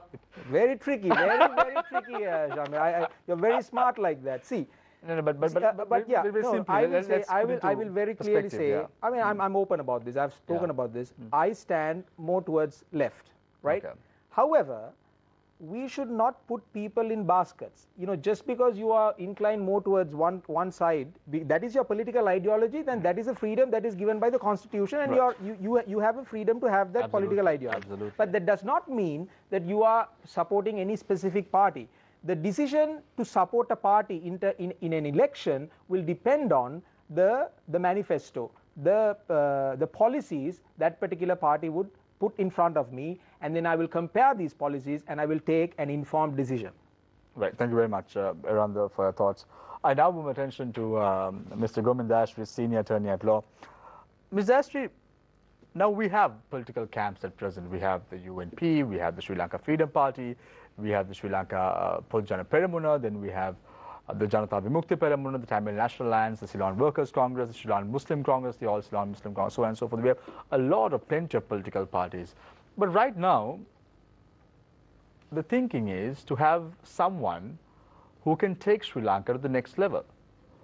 So, which party that person comes from doesn't really matter, but his policies and, as Eranda said, his manifesto. Well, let's I- say, Yes. let's say, Mr. Dayasri, that there is a general election that's going to come our way um, in a few months from now. Let's say there's a presidential election that's going to come our way in a few years at least from now. What must the people do? Well, I think it's very clear now, after what was seen on television sets over the last two weeks, that we must get rid of the present set of politicians. All of them. Whether it is SLFP, UNP, thank you for the little applause. I take it with a bow. From Miranda, by the way. Yes, by the Eranda. No, that's very good. I like Eranda. I mean, I, I was going to help him out in several things. But, uh, but uh, I think I, I like that Ashri, don't be surprised if Eranda says that he dislikes us and he likes you now, right? No, no, no. Eranda, I know. You I know, like Jay- everybody. No, no, no. I don't like people who like everybody. That's uh, that, those are the real humbugs. Very difficult to please. Uh, No, no. I, I, I like I like uh, Azad and uh, my friend who is JVP. Yeah. Right. No, You don't let's, like let's, let's forget about it. I don't like uh, to go into personal matters. Yeah. Okay. My view is that we must get it. And I think, look at this. Can anybody vote for what they saw in Parliament that day? If you can, if, I think there's a, a glimmer of hope in this whole episode. That is, people are now saying, let's get rid of Mahinda Rajapaksa, let's get rid of Ranil Wickremesinghe, let's get rid of X, Y, and he said, let's get rid of those 18 fellows who are pu- jumping. There's a guy called Senanayake who's every day in a different political party. It's Vasantha Senanayake. then let, let's, why are we having Vadivel the, Suresh. why, Vadivel Suresh? I mean, look, let's look at it sensibly. Mr. Ashwin, now, now hmm. if a layman assaults a police officer, I'm sure the police officer is going to be behind bars. But we saw in the parliament um, a parliamentarian slapping a politician who was a safeguarding a policeman. A, a policeman who was uh, uh, protecting the speaker, True. and he's scot free. Yes, but uh, is that exercising parliamentary privileges by the speaker no, or any of the parliamentarians? But I'm asking a more basic question: Will you vote for such a person who does such an act? Now, are people going to vote for them? Yes, now that is Sri Lanka, but the point is we have very short memories, memories, and we in that short memory forget things very fast. So I'm asking, the appealing to the people now don't vote for any parliamentarian except the very honorable and honest fellows. Mr. Ashi, where is the IGP in this equation now? I, I think he, he is another wanderer. But, I mean, he wanted to, he reduced Ranil Wickremesinghe's security forces, security. Then he, earlier he was bowing down to Rani Ranil Wickremesinghe. So I think these are all humbugs. no, because, because my thinking is now, uh, I, I, recollect uh, uh, parliamentarian Mahinda Rajapaksa, as uh, Sonali has told me, uh, to not to mention him as the Prime Minister, I'm just going to use uh, parliamentarian uh, for Mahinda Rajapaksa. So when uh, parliamentarian Mahinda Rajapaksa was holding a press conference a few months ago, he said that the IGP was an utter joke and he should resign from his portfolio. However, now the IGP seems to be in this safe haven, in this yes, small yes, nest. Yes, and he's with using Ranil. I'm, I'm, not a supporter of Ranil by any means. Hmm. I don't like Ranil at all. I think hmm. he's not fit to be the Prime Minister or any hold any post in Sri Lanka. But you have to respect him. He is the elected leader of 106 members, who, oh, including Champika Pathali Ranawaka who contested under UNP and they got 106 votes. But now 117 with the TNA support. We, that's TNA. That's, a, that's why it is a still a national government. Because a national government, 92. a lot of people forgot, 92. is one government, one main party and yes, several small parties. Now there's the SLMC. 92 parliamentarians. No, no, 106. No, 117 106, uh, Mr. altogether. That is, no, no, no. support of other parties. I'm saying UNP, UNF. UNF as a party has got 96. 106 because that is how the, the you have to look 106. 106. You have to look at please, Mr. Sali. You have to look at the results from the Commission of Elections. What color, what symbol, what what they contested on and they 106 votes were there, and Sri Sirisena was quite right in picking him up as the prime minister. But that can, that equation changed. because the, so the lower number was, Mr. the lower number was with uh, the UPFA or the Sri Lanka Freedom Party at that point. So Mr. Dash is right when he says 106 uh, the UNP uh, got no, I, I checked it up before I uh, came. not today, but when I went to court, I told the court that, yeah. that, that, in fact, the Chief Justice asked me the question, or somebody asked me the question, how do you count? I said you have to look at two results. Once the Commission of Elections results, and then the Parliament voting patterns. Thank you very much. So I now move my attention to Dr. Um, Atula Samarakoon, uh, Department of Social Studies, Open University of Sri Lanka. Uh, Dr. Samarakoon, uh, I'm trying to figure out um, the JVP right now, you know, um, they do have um, a voice, and that really came to light only after the 26th of October 2018. Uh, before that, they were vocal but did not create a big impact in Parliament. But since of late, the last few months, the JVP vote, the six members, uh, played a very crucial role and they became like a deciding factor in this entire equation. Where does the JP really stand at present? Now, they're, they're supporting the UNF uh, in courts. In the Court of Appeal, there were 122 members who went to courts against the appointment of Prime Minister uh, Mahinda Rajapaksa. However, now, where do they stand now? Now, a decision has been made. Uh, parliamentarian Mahinda Rajapaksa has said that he's going to courts tomorrow. So, where does it leave the, U, uh, the JVP right now?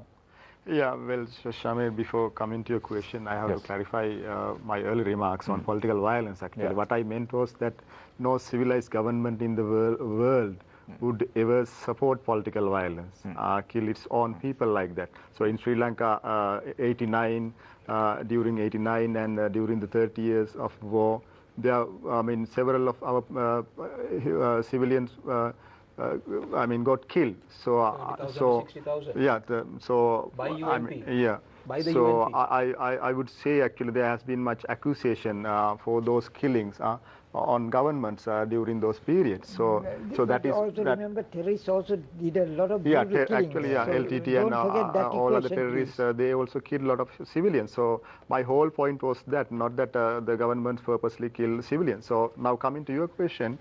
Uh, now this is this is actually popular view actually even uh, in in mainstream media that the JVP's current position. So what it really is doing at the moment. So in my observation as a political sciences uh, scientist, so I see that JVP is uh, is uh, trying to actually uh, reconstitute its uh, its uh, political positions and it's it's using the current crisis uh, to its advantage to a certain extent because it, it's not in an opportunistic way, but uh, in a way that benefits the country. So if you, if you look at the entire entire behavior of JVP during the during the last few weeks. So it has shown, it has set a certain model uh, uh, for all the politicians of this country. In the in the in Parliament, it has behaved as, uh, in a civilized manner, and even uh, it has gone to people and it, it, it has been educating the people on uh, various political issues. So I think at the moment, JVP has been playing a very crucial role in educating the people of this country on democracy.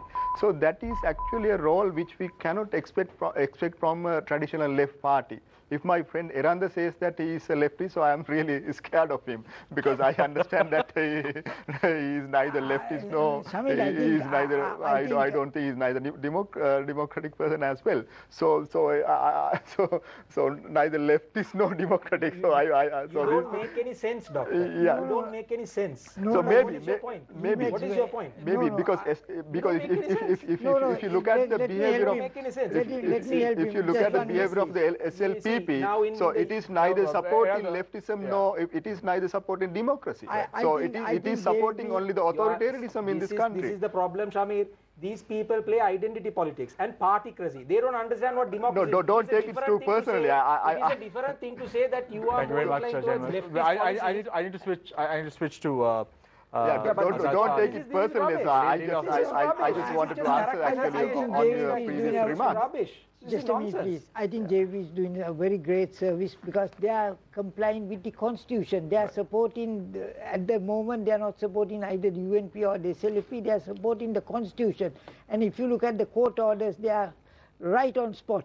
Thank you very both much. court orders, so, they are so, so let me open the floor uh, to. Uh, isn't, isn't that what you're yeah, doing, uh, Mr. Uh, Dr. Samarakoon, very quickly, 20 seconds, yeah. I'll give you to wrap up because I need to move to uh, Mr. Sali as yeah. well. Yes very quickly. Yeah, I think uh, as Mr. Gomin Dayasri uh, rightly says, I mean, right now we have, we, we should, we, all the parties should try to actually get out of this uh, impasse. So that, that is our responsibility. Yes. So I think in that sense, JVP is also uh, doing a right. big role uh, in, the, in the current political scenario. Thank you very much. So I now move to Ms. Azad Sal, leader of the National Alliance. Uh, Azad, so you still seem to be uh, from your heart a UNP. I don't know why I say this, but based on based on uh, based on uh, your affiliations that you've had, if you had a chance to be a UNP again, would you join the UNP if there was a change in leadership within uh, the UNP itself. Let's say a Prime Minister, uh, former Prime Minister Ranil Wickremesinghe decides to step down and someone else takes over the party uh, and, and runs. If See, that's the case, is there any chance for Azad Sali as an individual to join the UNP? See, um, forget Azad Sali. Hmm the whole country's problem will come to end now. Hmm.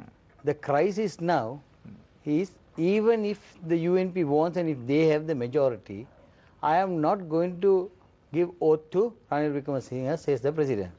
So what is the solution? Everybody has to think about the country, what we are facing today. Somebody has to take a, take a step backward and think about the country's future and decide. Now where is he going to go? It is going to come within your party. Just a change of leadership. Now, Samir, you remember the no confidence motion. When the no confidence motion was brought, we saw the young MPs coming out at Temple Trees and saying, we are changing the leadership. Now only because the opposition has bought this no, no confidence motion, we are going to vote. And they decided to vote. That was at the last minute they decided to vote to protect the leader because that week itself we will be taking the Ruwan Wijewardena commission report and we will change the leadership. Was it told or not? That was a statement. What did they do? Months have passed after that. Why didn't they do the change? Every young MP was bribed by the Prime Minister, the former Prime Minister. Everybody with responsibility. With responsibility. Hmm. Everybody was made uh, um, um, uh, inspecting minister. Monitoring MP. Monitoring, moni monitoring um, MP. member of parliament yeah. with a 200,000 rupees allowance mm. and a vehicle. vehicle. A small bribe that changed the lives of everybody in the UNP. All the people who voted with the UNP was so disturbed with this attitude. Now Samir, where is this going to lead us to? Now this is inside parliament you see this fighting. Now it has started in the provincial council. You see all the local authorities when they summon a meeting, they are fighting, not only being carried away with the chair and thrown outside, then fed with cake huh, to their mouth. Huh? All this is being done. Now this is expanding day by day. Now the villages are going to start fighting. So the whole country is coming to a chaotic situation. So they have to think, and the president also should think that we cannot allow the country to go like this. Everything is at standstill. What is the solution? The only solution is no mind the no Ranil. Get the parliament, the parties that are represented in parliament, have a caretaker cabinet only. Hmm. You don't need a you don't need a you don't need a, a deputy minister or state ministers. Only the 30 cabinet ministers are elected from parliament. Go for election. Why do anybody fear elections? Hmm. Go before the masses. Tell your grievances to them. They are the people who are going to but decide who should govern the country. But if the constitution does not allow it, no, at, at, a chaotic situation like this, why, why, why? It will be allowed. But, but who now see, Samir, chaos? whether you like it or not, chaos? we saw day before yesterday, hmm. over 1,500 monks gathered at the Nelum Pokuna. What did they ask for? Election. Give us the franchise to vote. Every, every town today is demonstrating, asking for election. No, but that if the people's wanting is election, if the majority of the people in the country wants election, we have to give that. But why not go for a referendum? As Mr. Govinda said, but, but, but, he objected to Parliament restricting, huh, stopping uh, the um, uh, people's mandate or restricting it to four and a half years. The question Dissolution. is not that, but the question is very simple. If if the people want to go for an election, have a referendum, ask for people's mandate and everyone who voted in a Samir, government you are talking mandate, of, mandate to whether we want mandate election or not. Samir, that's another expenditure now, Samir. Can a country like Sri Lanka afford that? We may not be but able we, to afford, we, but yeah. we please. Yeah. But we, can't, we can't afford. Yeah. I agree with we you. We can't afford but, but, election. But, but we have, to do it, we have to do it because we have to conform to the law. law. Absolutely. So, so, so want to conform to the law, things. why I mean, not? See, we, I, we I, saw I, this. I mean, I, early 1980s, the, the Labu Kalagedi no, referendum that we had. If, I'll give you answer. You're beating around the bush. if the executive wants, yeah. and the legislature is having a problem, right, hmm. and now bringing in the judiciary also into it, yeah. we need a solution. As masses, as people who bought the good governance government, we are talking. We are also people who gave our necks to Ranil Wickremesinghe and Maithripala Sirisena. We also have the right to tell. Now we feel that you have to go for election. Why? The whole country is in a chaotic situation. Azad, the villages are going to fight soon. The provincial councils are fighting. But, the but, local governments are fighting. You, you are talking about not we. No, I, no, no, I, I, I, am not talking about we. If, if, if I am talking about I, I will not be watching on television the masses that are coming onto the street asking for election. Mm. I am talking on behalf of everybody who is demanding for election. I am demanding the Buddhist monks who are coming and asking for election. So the Christian clergy is coming and asking for election. Does that Every community leadership but, is asking for an election. does that represent the 11 million people who are eligible to vote in Sri Lanka? Yes. yes, why not? Why not? Now the majority is there. Now in parliament, in parliament to pass a bill you are asking for a majority.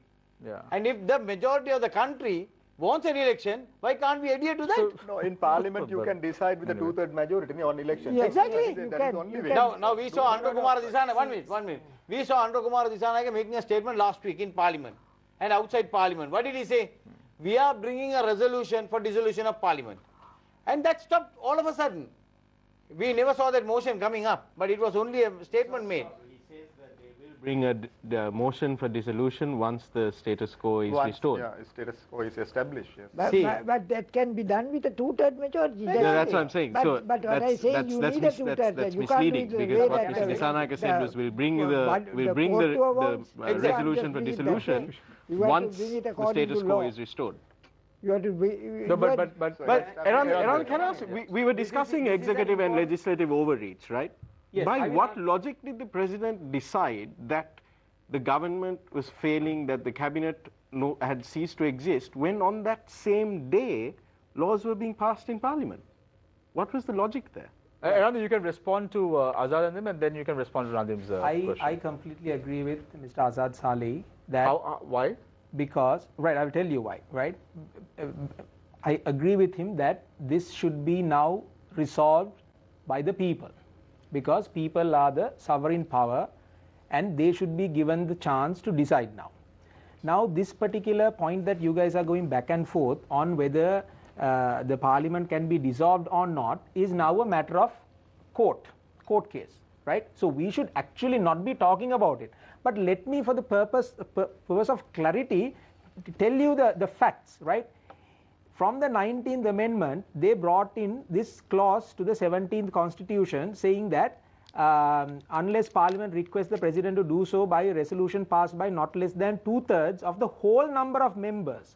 Right now, this is a magnificent height. You know, you need the two thirds of majority of the members of Parliament the members of parliament that we don't have any any any trust now right to come together and voluntarily say okay now please resolve the parliament right which is near impossible right? But uh, the uh, question is why let me finish let me finish let me finish uh, and, and he says provided that the president shall not dissolve parliament until the expiration of period of not less than 4 years. However they in the same 19th constitution four years or four uh, they have they have put in they have put to the 33 uh, co co constitution 33 uh, which states the uh, executive powers of uh, the, the, the, the president and it says here in addition to the powers duties and functions expressly conferred or imposed on or assigned to the president by the constitution. No, no, by this wait, wait, let me, let me, or, or other written law, yeah. the president shall have the power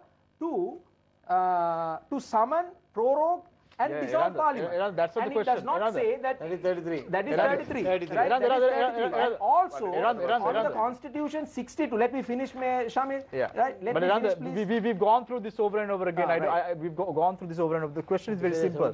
You're saying, you're saying, Eran, Eran, you're saying the people want an election. You say the people want an election. Hmm. I, as an individual, don't want an election. Hmm. You as an individual want election, but both of us are not representing the 11 million people of Sri Lanka. Sure. Did you see at least 100,000 people attending these protests? Tell me. The answer is no, no. no let's let's talk about simple bolts and nuts. Let's talk about it the 11 million people. It is not a matter of whether it is 100,000 yeah, but the problem is, people but, but the problem is, Eranda, you are not representing. You are not representing the people of Sri Lanka. Yeah, you may not. want, you I'm may not. want election. Yes. But that can be because of your political ideology. Let's take a count. There are four people no, no, here. It is not there are four people here. Let's be very pragmatic. Hmm. There are four people here, and there are three journalists here. Okay. Yeah. I ask you, do you want election right now in Sri Lanka? Yes. Yes. Uh, Samir, Doctor, no, no, no, no, no, no, no, this is the wrong thing to do. Absolutely wrong thing to do. This is the wrong thing to do.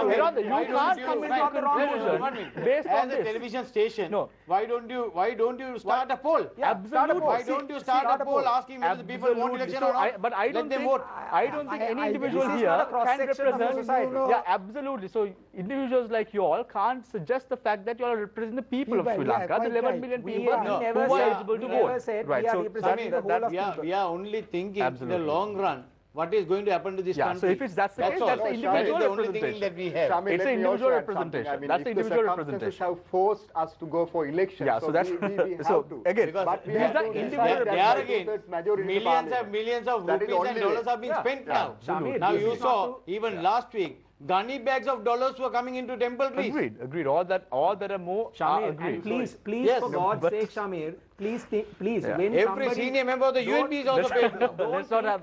Let's not have God in this equation, but but Shamir, but, yes, yeah. but this, this was a very bad thing that no, you tried to do. No, no, it was so, very naughty of you to do it, right? Because let me say, No, no, but- there's a f- th- th- see, not everybody who is asking for an election, just like that, you are not asking for an election. Yes. Not everybody who is asking for an election is asking for an election to appoint a particular party. Absolutely. Uh, yeah. We Agreed. are asking for an election because we believe that is the right This thing crisis to do. cannot be solved. is Okay. to solve the crisis. In order, That's it. in order to be So solved, there are ways to solve there are ways crisis, to solve it, you right? have So, to so follow the constitution. Dashi, No, is your what is your are- follow the thinking about all this? Now, please, there are different elections. We can have a presidential election which is within the law. That will decide because, as he said, the whole country votes for the president. Whole country votes at that time.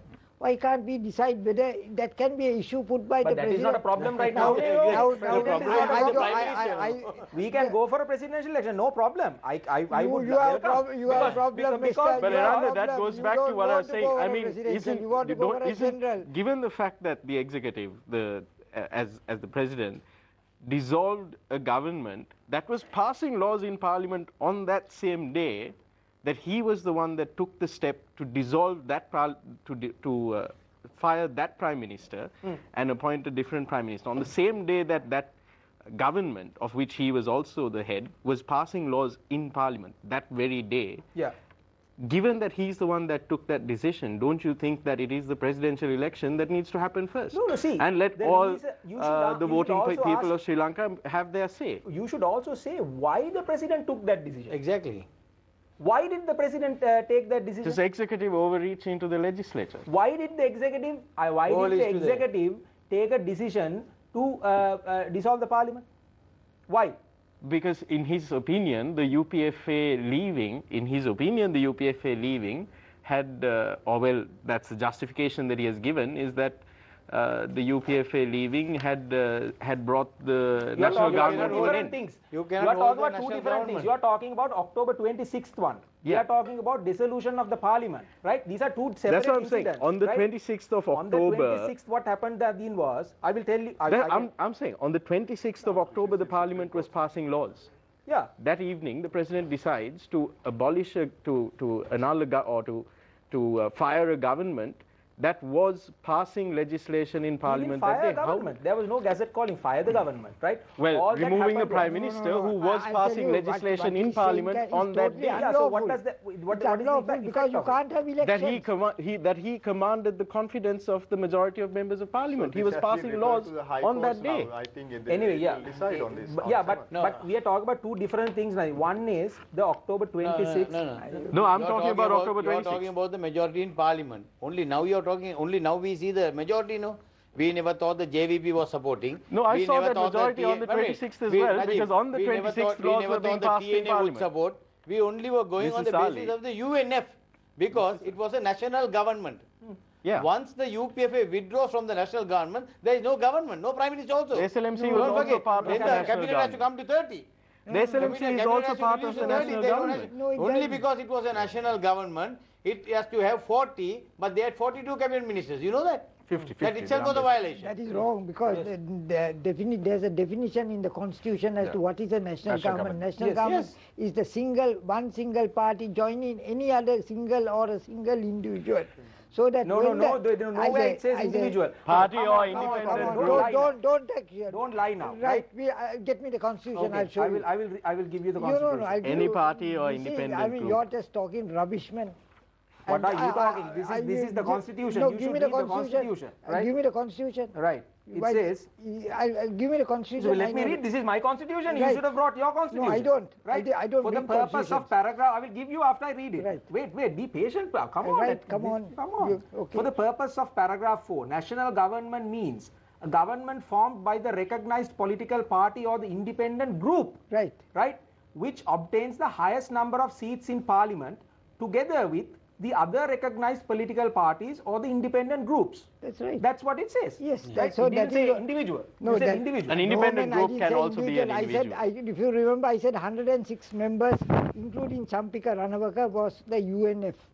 They contested. SLMC, eh, SCMC eh, all together. No, no, SLMC came separately. It That came was the a- UNP. No, that came separately. No, no, no, no, no, The no, SLMC no, has no, one no, seat separately. They were one set. No, no, UNP, ACMC. SLMC No, were one no. set. no, Mr. they- Sali, the UNP has the UNP under the, the elephant, the green color. There are 106 members of parliament. there is one member of parliament, Mr. Ali Zahir Maulana, who is from the SLMC. Yeah. No. Thereby, by, by, by that definition, by a recognized political That party forming an alliance with a recognized no, political no, party, okay, the national okay. government still exists. ACMC, SLMC is separate. No. Okay, let's AC. ACMC, SLMC is together with the UNP. Right, No, Nadi, only In parliament, the SLMC has one okay, let's take your argument. What you are saying is, let's let's for argument's sake, let's take there were three parties, whichever party there were three parties. Now your argument is these three parties came together to form a national government. Is that your argument? Yeah. Right. Now, according to the definition, when these parties come together, you form the A uh, national government, A ex national government, right? When one party leaves, by the definition, when one or, or two, one party leaves, the ex national government ceases to exist. No, it but wait, let No, me finish. Let me finish, please, will you? I- Right? you- you're but talking at the same point, at the same time, immediately after one party left, if the UNP uh, announced that we are forming a new by uh, national government in partnership with JVP or TNA or SLMC or whoever, then it would have been the case.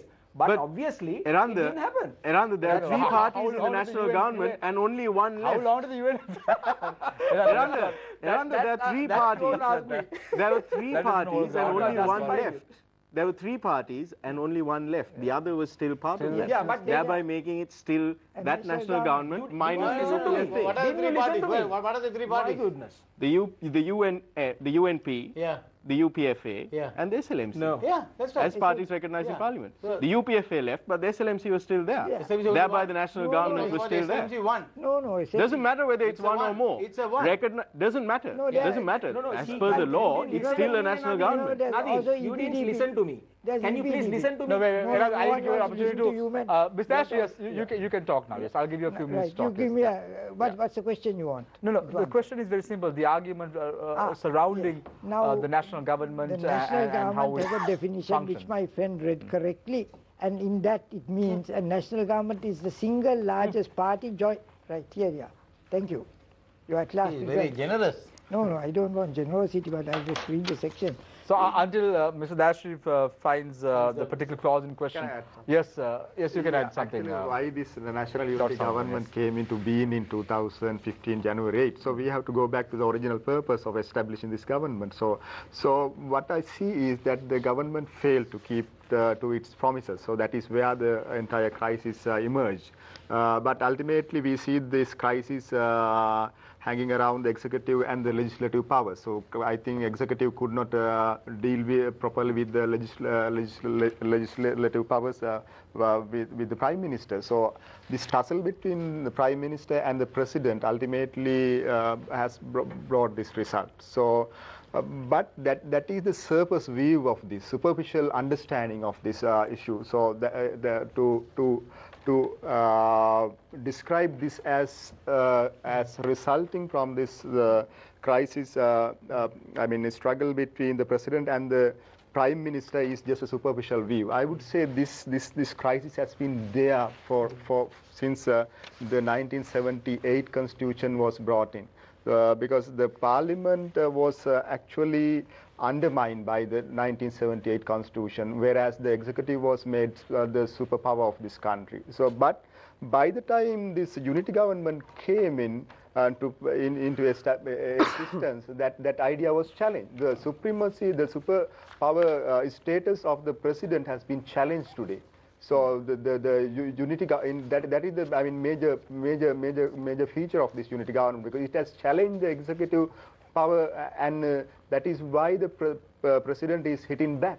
So today the president finds in the position that he is helpless. He, he is helpless because he has no uh, he has no majority in the parliament. But the majority is with uh, with a different party. He, his his his, uh, his, uh, his his own party members are crossing over to other party.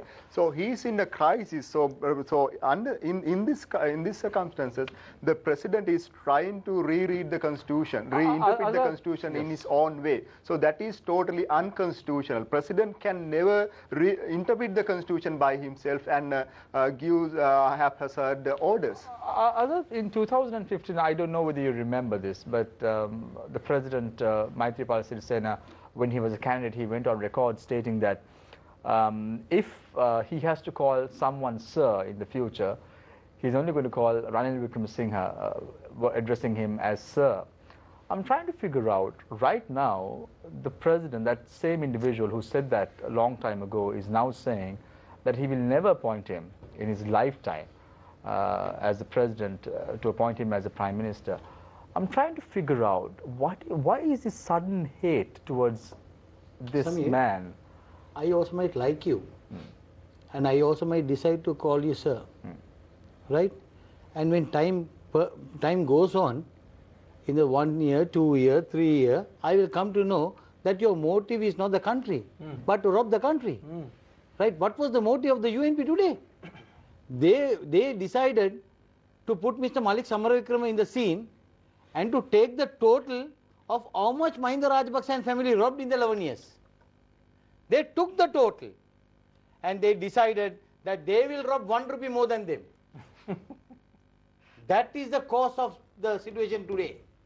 It is nothing but not, not only Mr. Wickremesinghe, Malik Samaravik is the man who did this debacle to the entire United National Uh, Party. That, that, that we know because we See, knew about at the central bank beginning, controversy we- we and so on saw- so forth. Yes. First thing they did, breaking of the central bank bond, which you all exposed. If not for Sirasa or your media, this would have not come up to this situation. That was the biggest exposure, that, that biggest robbery in the country. What has happened to that? Right? Today they are even speaking about that bond commission report, which the because I was there in UK when this originally took place. Yeah. Right? President with immediately President called the Singh at that secretary time, yes. and called and told him, inform the Sri Lankan public, I am coming up with a commission. In half an hour, we receive a call to Britain saying that the Prime Minister has already appointed a three bench hmm. Three member committee. member committee, all lawyers of his own party. What happened to that? Nothing. What was the outcome of the report? Nothing. Then the president had to appoint a presidential commission. You know, some of the latest revelation that we have got is before the president got the presidential report, the report was given to Mr. Wickremesinghe. What a situation, what a state of affairs in the country. I hope you take full responsibility. I take full responsibility. This Ali- was told to me. Right, okay, so all this Right? happened and, So and the now, president, yeah, and now the president decided is- to, wait till you. Yeah. Then the, the respect for that man, right? Even at the last rally, president was at home after the Moratuwa meeting. His state went home. He didn't want to come because there was the information that there can be problem at the Maradana. Is the final meeting. Mr. Wickremesinghe went and bought him. After that, they had the annual convention of the UNP. I went with the president. They made a statement of what sacrifice Ranil made. All that is okay. Right? Country wanted a change. Country wanted the Rajapaksas out. For what?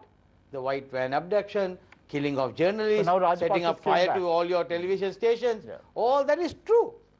But why the people wanted that change because of that?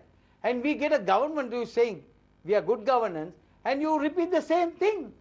so, so now the Rajapaksas came into power on the 26th of uh, October and they appoint Nalaka Godahewa as the chairman is, of that uh, why President said, no, I have immediately given instruction that he should be removed. Not only that, as uh, Mr. Gomin Dayasri said, we also still feel that the President should have never appointed Wimal Weerawansa. The President should have never appointed Johnson Fernando. Why? All these people who, are, who is having cases, court cases, should not have been appointed to this present cabinet. We are there with you. We are there. What we want, whoever does it should do the right thing.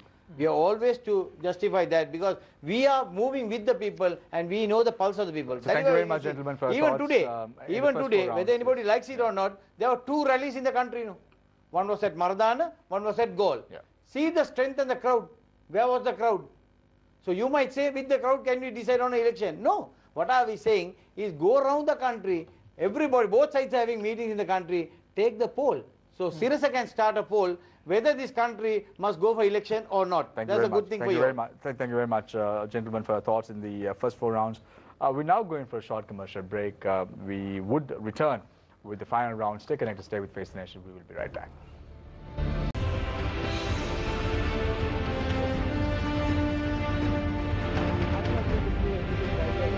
Welcome back. Uh, this is the final round. Before I uh, go into the final round, I want to give Sonali one question to uh, pose to the panelists, and then we go in for the final round. Yes, Sonali, very Um, quickly. Eranda, there's a school of thought that uh, Sri Lankans are disempowered, that it's very easy to buy them over with a rice packet and some liquor or some silredi or a sari uh, in exchange for their vote.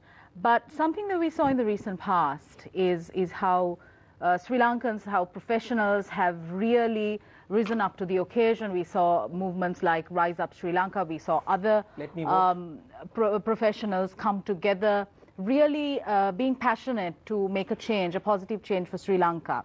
And, and, and I personally choose to believe that Sri Lankans are resilient um, and enterprising. Now, on the other hand, we have issues um, such as uh, racism, youth violence, uh, sexual harassment and frustration, uh, poverty. Um, so, my question to you is what must the um, civil society, entrepreneurs, uh, young, passionate people do uh, in order to take Sri Lanka onto the right path. I mean, there are isolated efforts all over the place, but there is no one collated, collected uh, body as such. Um, in your opinion, what must these Sri Lankans do? I think uh, we should do more of what we are doing right now. Okay. Sonali. And I, I absolutely love, I think it's probably the best thing that happened from this whole uh, crisis is that, remember, you know, we have always been telling the youth are not engaging, they're not participating in, in, in, in, democracy and in governance, and the, the professionals are not coming forward. But now you see it's happening, right? So now we should be happy about it and we should encourage them to uh, come forward, right? But let them have their own political ideologies and let them have that debate because debate is part of democracy. You know, the, the, first thing you need to do is debate and then only you go for a decision. So I think it is absolute. I'm, I'm, I'm thrilled that, that we have, uh, you know, emerging vibrance of professionals and young people, entrepreneurs, educators, all coming forward and, and having this discourse. I think it's absolutely beautiful. We should do more of it. But should we try to organize it as one big body? I don't know because see, every other country has these these kind of movements and they are very natural, they are very organic. I think it should you should leave it like that. You know, if at all, what the media can do it and should do is to support them and sort of uh, amplify their voice. Uh, and give them more platforms to express themselves and have those uh, those lively debates. So that's a, that's a that's a brilliant thing that is happening on the other other side that you, you mentioned about the, the, the issues that we have, you know, the social issues, the environmental issues, the economic issues that we have. See, those issues, Sonali, yes, I'll finish. Those issues, we are not going to solve them overnight. These issues are there all around the world. We will have to come up with good policies to solve them. I right. know. I know. So, uh, thank you very much, uh, gentlemen. No, it's so it's a final round. Minute, huh? Yeah. A very good question that you asked him. Yeah. But today, what do you think of the people of this country? Now we see what is happening in Parliament we have identified people also. Next election, you mean to say that he will get less vote? He will get more than that. Yeah. This is Sri Lanka. Anyway, uh, so people don't want the right thing to happen. They don't want the good people to come. That will never happen. All these Tradas will come back to parliament again. Right. So let's let's uh, so move to the final round uh, uh tonight on the show. Uh, we're talking about uh, about the future of Sri Lanka. I want to start off the final round with Dr. Atula Samarakoon. Uh, from uh, the Open University of Sri Lanka. He represents the Department of uh, Social Studies. but Dr. Atula, given all this, right, is there a glimmer of, glimmer of hope for Sri Lanka, at least now? You know, you see, um, you see uh, the JVP, the UPFA. Let's put all these political parties aside for a moment, for a minute, and let's think about the country's future. Do we still have a glimmer of hope? Is Sri Lanka still a resilient nation to move forward? The time starts now. Yeah, well, uh, I'm very much optimistic of our people because uh, whatever happens uh, uh with the politicians, whatever their policies, their corruptions, uh, etc. So people have been so uh, so calm and people have been so very much very much actually they, they, they, they never wanted to. I mean uh, be violent uh, like in other countries. So if, if this kind of political crisis uh, uh ever uh, took ever happened in in, in, in authoritarian countries, so people would have taken to roads. Uh, they, they would be in, on the streets and fighting with violent means. But our people, with uh, with their democratic mindset, so still they, they have been very much peaceful. So I, I, I, don't think that our political parties can, uh, can uh, mis mislead them at all. So our people are, are, are very much educated in a way because uh, we have a free education system. But the problem with our people is that uh, so once they belong to a party, they will continue with that uh, irrespective of the policies, the character of the politician that, that those parties have. So that is where we need to we need to educate people on democracy. So democracy is not that you choose a party and you stick to that party forever. So democracy should be based on pol policies. So our people should understand that the, the, the, the, the, the, the uh, the path, the future should uh, lie with the, uh, is uh, uh, with the policies of the political parties and not not with the characters, not with the charismatic leadership. So our people should not uh, keep worshipping some political leaders or, or go go after the incentives that the political parties throw at them.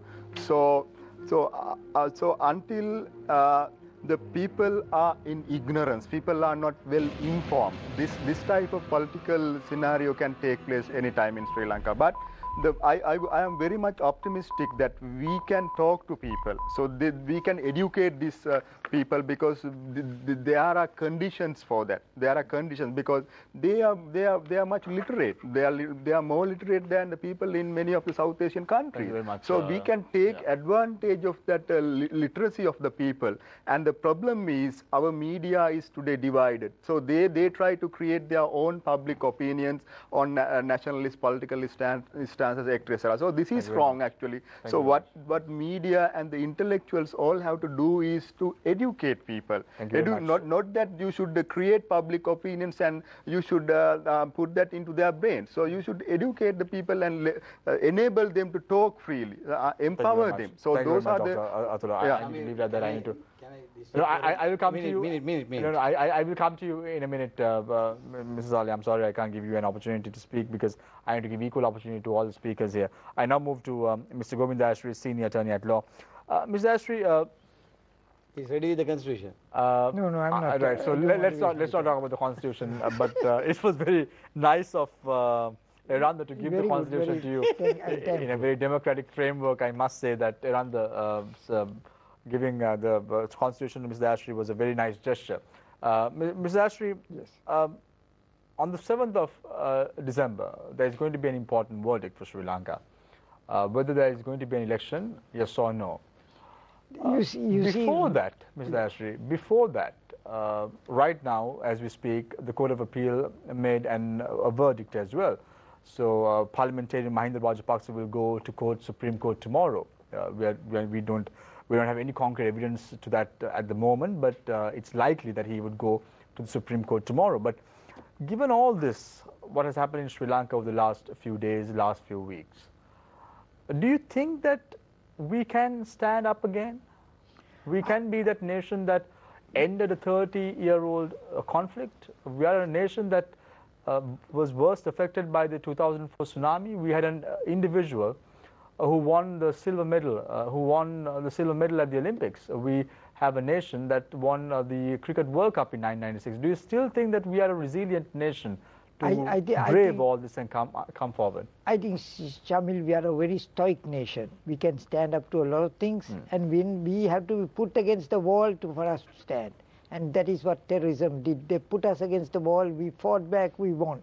But I don't know, Shamil, this time I'm a little pessimistic because of the politicians. I mean, all these things were done not necessarily by politicians. It's outside, it's the people that won the war. Now, my question is this. Now, I think the courts have done extremely a good job by saying that Ranil Wickremesinghe is going to be the is the proper prime minister. Now, nobody wants Ranil.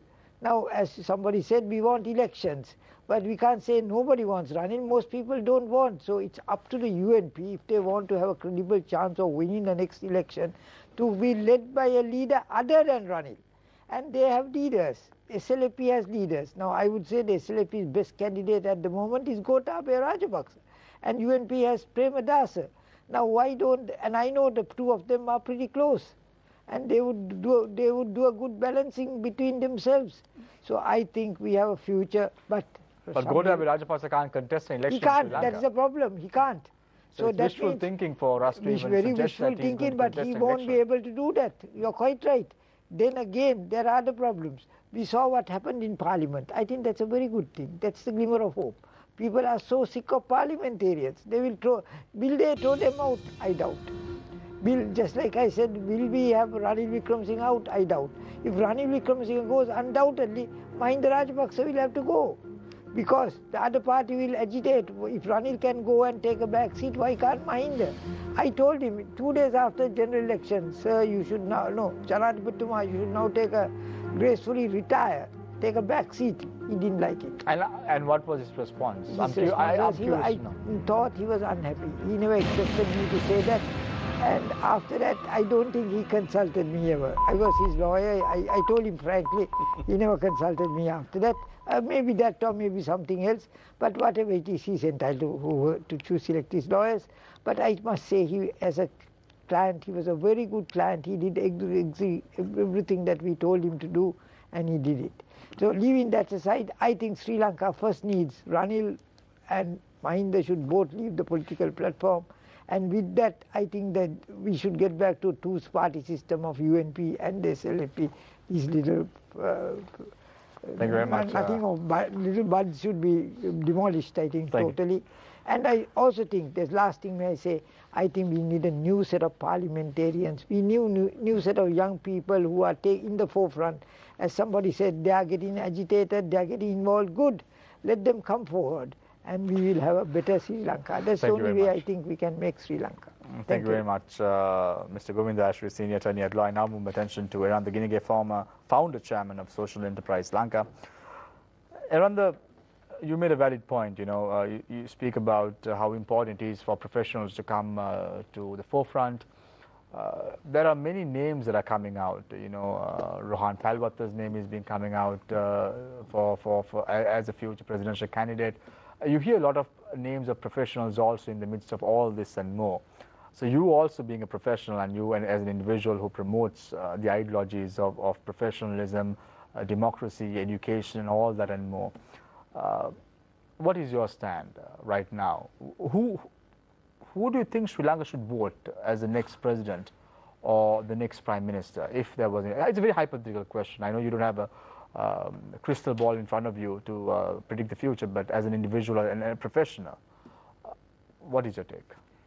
So very simple. Again, Shamir, we keep uh, we are conditioned to think uh, based on identities, individuals. That is not democracy. This is the this is the wall that I'm trying to shatter. You know, we should not de decide based on who is running and what is that person. No, we should look at that person's policies and if that person's policies resonate with your political ideologies and if that if you think that that person is capable of delivering the policies that he or she is promising then you may uh, choose to vote for him. But at the end of the day remember that in the constitution it says sovereignty. What is sovereignty? So- sovereignty includes the powers of government fundamental rights and the franchise. Franchise suffrage the right to vote right to vote, uh, uh, universal suffrage, these are, these are grand words in the human civilization. These were won with blood and sweat by people. And we first got this in 1931.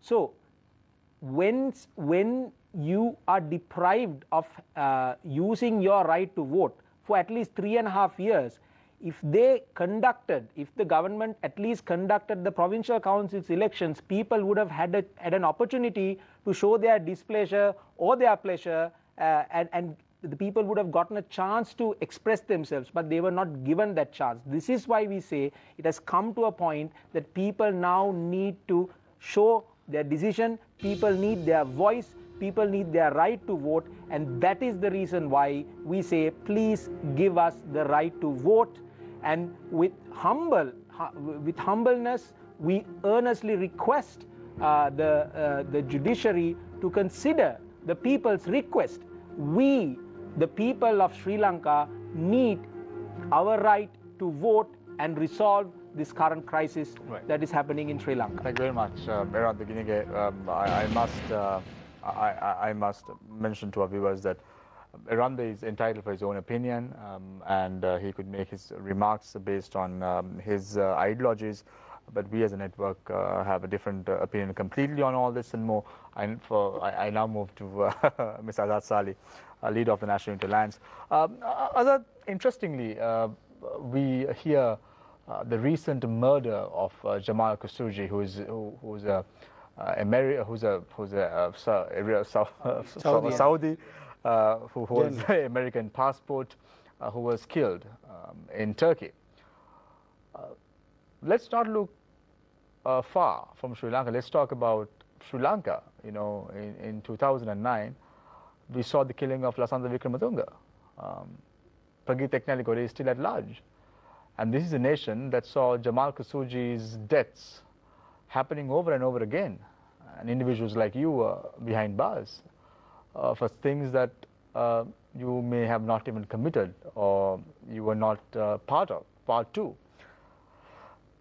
You, do you think that we are sliding back to that era again? And doesn't this worry you as a party leader from a minority party? Doesn't this worry you? Uh, This has been my worry right throughout uh, in the last three and a half years. As I told you earlier, we all work so hard to bringing a good governance government to do that.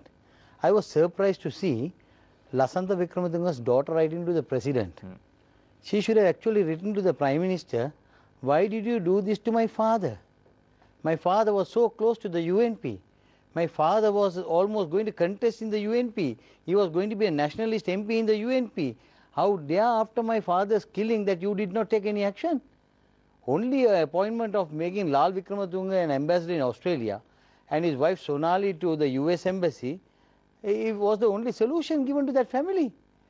Three and a half years. What did they do? Lasantha's killing, nothing. Thajudeen murder, nothing. Just see, even that 11 children who were killed by the Navy, right? Today they will come and say, uh, dadam karna hamudav. Nobody wants to do dadam to the hamudav. If the hamudav does wrong, even you do a wrong, he does a wrong, I do a wrong, everybody has to face the situation, right? That is why we want a court of law to take the independent stand. So today all these things have today come against the UNP. Nothing was done. We saw millions and millions of dollars in various bank accounts. Even statements came from Dubai. Statements came from Seychelles. They were showing all that. Who was blocking? Who was stopping? What did the three and a half years Ranil Wickremesinghe government do? Nothing. When the uh, Thajudeen family went and met the president, I took them more than three to four times to meet the president. The attorney general was summoned and told, What are you doing? Even now, why they were making a big UN cry about the transfer of Nishant, right, from the CID. What did the president say? You're only just finding facts, reporting to court, arresting people. Now, on Thajudeen's murder, Anura Senanayake was locked up for more than one year. No cases filed. Lasantha's, no cases filed. So, now they say, we are still awaiting Attorney General. You remember, Samir, when the as soon as the government came and when the Attorney General made a remark saying, we don't have people, hmm. we very clearly said, if you don't have people, recruit people. Because hmm. a government can last only five years. Now, this has lasted only three and a half years, right? It had to go so fast. If they last for five years, they have to solve these cases also immediately because the next government is not going to investigate these things, right? All the robberies that took place, all the state institutions that were uh, robbed, nothing happened. The Greek bond, nothing happened. Why all these things? So the, this was the aspiration of the people. Like the doctor said, in any other country, you will see the people coming, people coming and uh, trying to form the government again, not allowing this to happen. Definitely this would have happened to the UNP.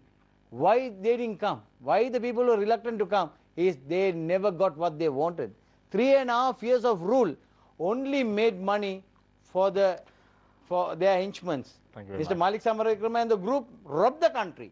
This I will openly, openly say. And people who were pinpointed as people like Lok- Lokovitarn, they, these, were, these were the people who were protecting the investors of the Rajapaksa family. What happened? They were bought to Sri Lanka. They were given the Horana tire factory. They were given every other project to be done.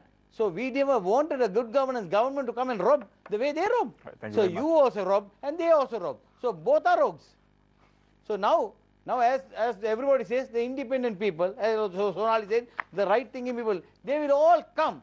But the same rogues will only come to power. Thank you very much. No right-minded people are going to vote or no right-minded people are coming back to politics. Thank you very See much. what will uh, happen. Thank you very much, Azad Sali, uh, leader of the National Alliance. Thank you very much, Mr. Gomin Dayasri, for joining us uh, this evening on the show. Uh, we um, hit um, uh, 11.45, so it's time to go now. Thank you very much, Mr. Dayashri, for joining us this evening on the show. Thank you very much, uh, Mr. Azad Sali, leader of the National Unity Alliance, for joining us on the show. It's always a pleasure to have you on board. Dr. Atula Samarakoon, uh, representing uh, the Open University of Sri Lanka. Thank you very much, uh, Dr. you Samarakoon, joining us as an academic on the show tonight. And thank you very much, um, Eranda Ginige, founder, chairman of Social Enterprise Lanka, for joining us. It's always a pleasure to have you on board. Eranda, looking forward to seeing you on the show tonight uh, very soon as well in the future. Not as a politician, I must tell you that, uh, but um, uh, as the, as an individual who's doing his good work uh, for Sri Lanka. Thank you very much, uh, Sonali. Thank you very much, Nadeem, for joining us on the show. Sonali is also For giving us this opportunity. Thank you very much. Uh, it's always a pleasure uh, to do so. Uh, Sonali is also an attorney at law. It's uh, always nice to have you on board, Sonali, uh, and part of the show tonight. I leave you tonight with a quote, as I always do. Success comes not from having certainty, but being able to live with uncertainty. What are we looking for? Success. Take care and good night.